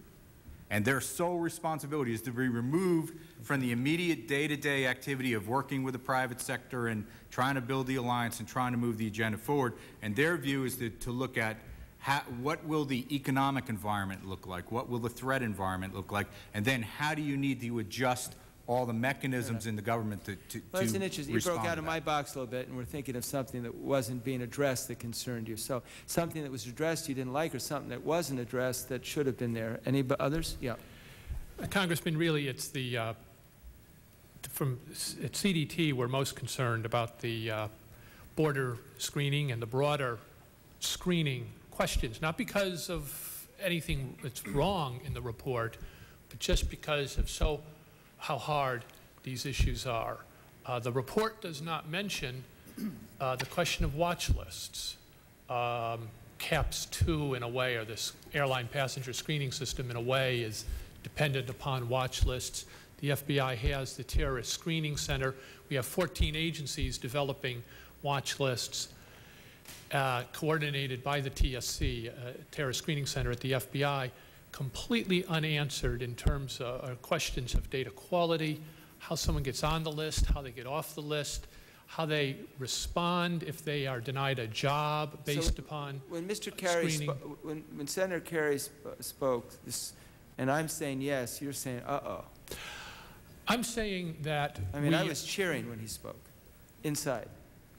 Well, he- we already have a border screening system through the visa process. That We doesn't work. have a uh, airline passenger screening system. Right. Um, We are, uh, have various employment screening systems for a variety of sensitive jobs. Uh, All of those have gaps, all have limitations. There are efforts underway to try to improve them, and the Commission recommends the linking together of those uh, various screening systems into what they call a comprehensive screening system. I think inevitably we're moving that direction, but the issues that the report highlights of due process, of how you identify people, I- those I hear are you. You very have s- you have some hard and deep crucial, concerns about that. and- crucial issues Okay. that concern and- us. and- Yeah, and I hear you. Some other concerns. Yes, Mr. Duff. Uh, This may be similar to Mr. McCarthy, and I'll be real brief, but it's the issue of the roles, uh, clarification of the roles and responsibilities of agencies. You have this huge new Department of Homeland Security, and yet you still have the U.S. Department of Transportation and somewhat overlapping roles and responsibilities. Isn't there some way to clarify that and make it clear who is responsible for what? Okay, so, but is that, so your concern is that they didn't address it deeply enough? Okay. That's correct. Okay. Mr. Collette? Uh, We had no concerns. Okay. I have a, uh, uh, a, a big fat target for you. Okay. uh, And a, uh, and a concern. Uh, The target is the current structure of the intelligence community, which was pretty much left off the table. Right. Um, We're up against a highly agile uh, adversary, a networked adversary, and in many ways, uh, we're trying to defeat it with a smokestack, to mix our metaphor. Yeah, yeah, yeah, I'd like to pursue that point, but maybe. it Well, just the, just the point that, that at, at the subcommittee level, you need to take a look at what needs to happen in the intelligence community to speed information to the National Intelligence Directorate. Um, it's the issue uh, that the Comptroller General was talking about, about a full-out box with no inbox. And I think that the intelligence community has gotten a pass on its basic organizational structure.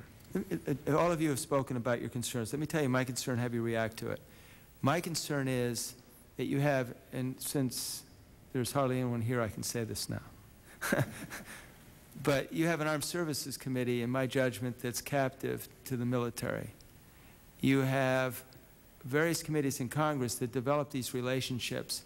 Um, I, I have believed that the intelligence community was a captive of the intelligence community in some ways. Uh, but I don't know how they were captive, but I didn't feel they were in control. And uh, the reason I can speak about that is that this is the committee that has 100, 360 degrees jurisdiction. We, we, I, my subcommittee oversees the Defense Department. Again, we kind of pick the crumbs from what's not done by the Defense, the Armed Services Committee. But with, we're not in the same, I, a four-star means a lot to me, but it doesn't mean quite the same thing to the members of the committee. And, and, and we don't necessarily feel we have the same, uh, well, I better be careful there. Uh, What I'm trying to say is that we don't have those same relationships that, um, and, and so I feel like we're freer to be a little more aggressive. And what surprised me about this is that, frankly, if the intelligence agency didn't succeed, the Intelligence Committee of Congress didn't succeed. And yet we're saying we want to make them more powerful and give them more responsibility. And, and that's kind of the thing I'm wrestling with. Um, I'm wrestling with when we wanted to have a hearing, as I mentioned earlier, the, Armed the, the Intelligence Committee gave the CIA a permission slip they didn't have to participate. And I went up to the chairman and complained about it, and, and it was just, you know, that's the way it was. And so I'm wondering how we get a better handle on the Intelligence Committee if we are basically empowering only one committee of Congress to have oversight with no judgment of whether they're doing a job or any other committee to kind of pick up the crumbs that they may not be seen falling from the table. Mm -hmm. Any reaction to that? Uh, uh, if not, I'll just take my last question. Okay. Um, tell me the thing you think is most difficult to achieve. The thing that you think is good luck, ain't going to happen. Or if it happens, I'll be amazed. Do you Well- think most of this report will be incorporated? Let me put it this way. Do you think most of this report will be adopted? And if not, what are the parts you think will most likely not be adopted? I- I think we're right now at the beginning of the process, and we saw yesterday uh, with the president's proposal, uh, a process of dilution that happens in politics. Um, The proposal now on the table would, would uh, create the weakest uh, agency out of the gate that I've seen in terms of a response to a problem like this. Uh, By my view, uh, the proposed uh, National Intelligence Directorate would be so weak, it might as well be located in Baltimore. Okay. Um, That's a tough uh, statement, but it's No. just the way it is. We have a pattern here of, of too many massive parts in play. Immediate reaction, form TSA. Forget about DOT. You know, now you got to deal with D, TSA. D- TSA uh, started to feel growing pains. We shifted to, to uh, form the Department of Homeland Security. And you talk to the guys at DOT and their uh, TSA, and they're kind of rambling around. Uh, now the shift is going to be into intelligence. Uh, we just keep doing this, and, we, and in the process, we leave a path of massive uh, starting to implement the change without the follow-through, without the, the, the piercing follow-through that's needed, both from the oversight side and within how do you align this up in the executive branch, budget, people, the whole nine yards. None of the foundation's been laid. Okay. Some other points? Yep. Uh, Congressman, I don't know if it is the hardest, but one of the hardest things will be making sure that this Director of National Intelligence does not merely serve the President. I think um, one of the initial problems that the TTIC faced, and to some extent still faces, is there is such a premium placed on moving information up to the President and getting your little Right. nugget or your piece of analysis in front of the, the President. The much more important task, I mean, at some level, the, the President isn't going to be the one who prevents the next terrorist attack. Okay. It's going to be some alert customs officer or some TSA screener at an airport. The goal has to be to push that information down and out to all levels of government and to allow people there on the front lines to have that information Okay, and that's act an, upon that's it. an important point to make. Just tell me the hardest thing that's going to, that we're going to, in this report, to, to move. I'm, I'm making an assumption that you basically support the recommendations of this commission. I mean, for the most part, you do. What is the, what is the part that you think, uh, with, with concerns that you've expressed, yes. Mr. Dempsey, what do you think is not going to happen because it's just going to be too difficult or there won't be the kind of attention to it? I mean, what you, your, your point was very valid. Uh, This is one that I see as a real, Okay. very hard thing to legislate uh, Okay, fair in enough. the first Gotcha. place and I- hard I to hear you. accomplish. Anybody else? And then we're going to close up here. Any other? uh, You don't want to, Collette, Mr. Collette, you don't want to? I really don't have much of an opinion on it, but. uh, Why don't you turn your mic on? If, if it's on, I. Sorry. Yeah. Perhaps the most difficult thing will be finding the money Okay. uh, for the budget. Simple as that. Very good. Anybody want to make a last comment before we close up? Anything you want to put on the record, Mr. Not, Dell? not just finding the money, but the allocating it, making those hard decisions about uh, how you allocate it f- across the transportation sector, for example. That'll be very difficult, and that's why we support that idea of a plan, the strategic plan to do that, just that. Okay. Well, it's going to be an interesting fall, isn't it? Gentlemen, thank you for all your good work, uh, and thank you for uh, spending your whole day with us. Uh, And if there are no further comments, we'll adjourn.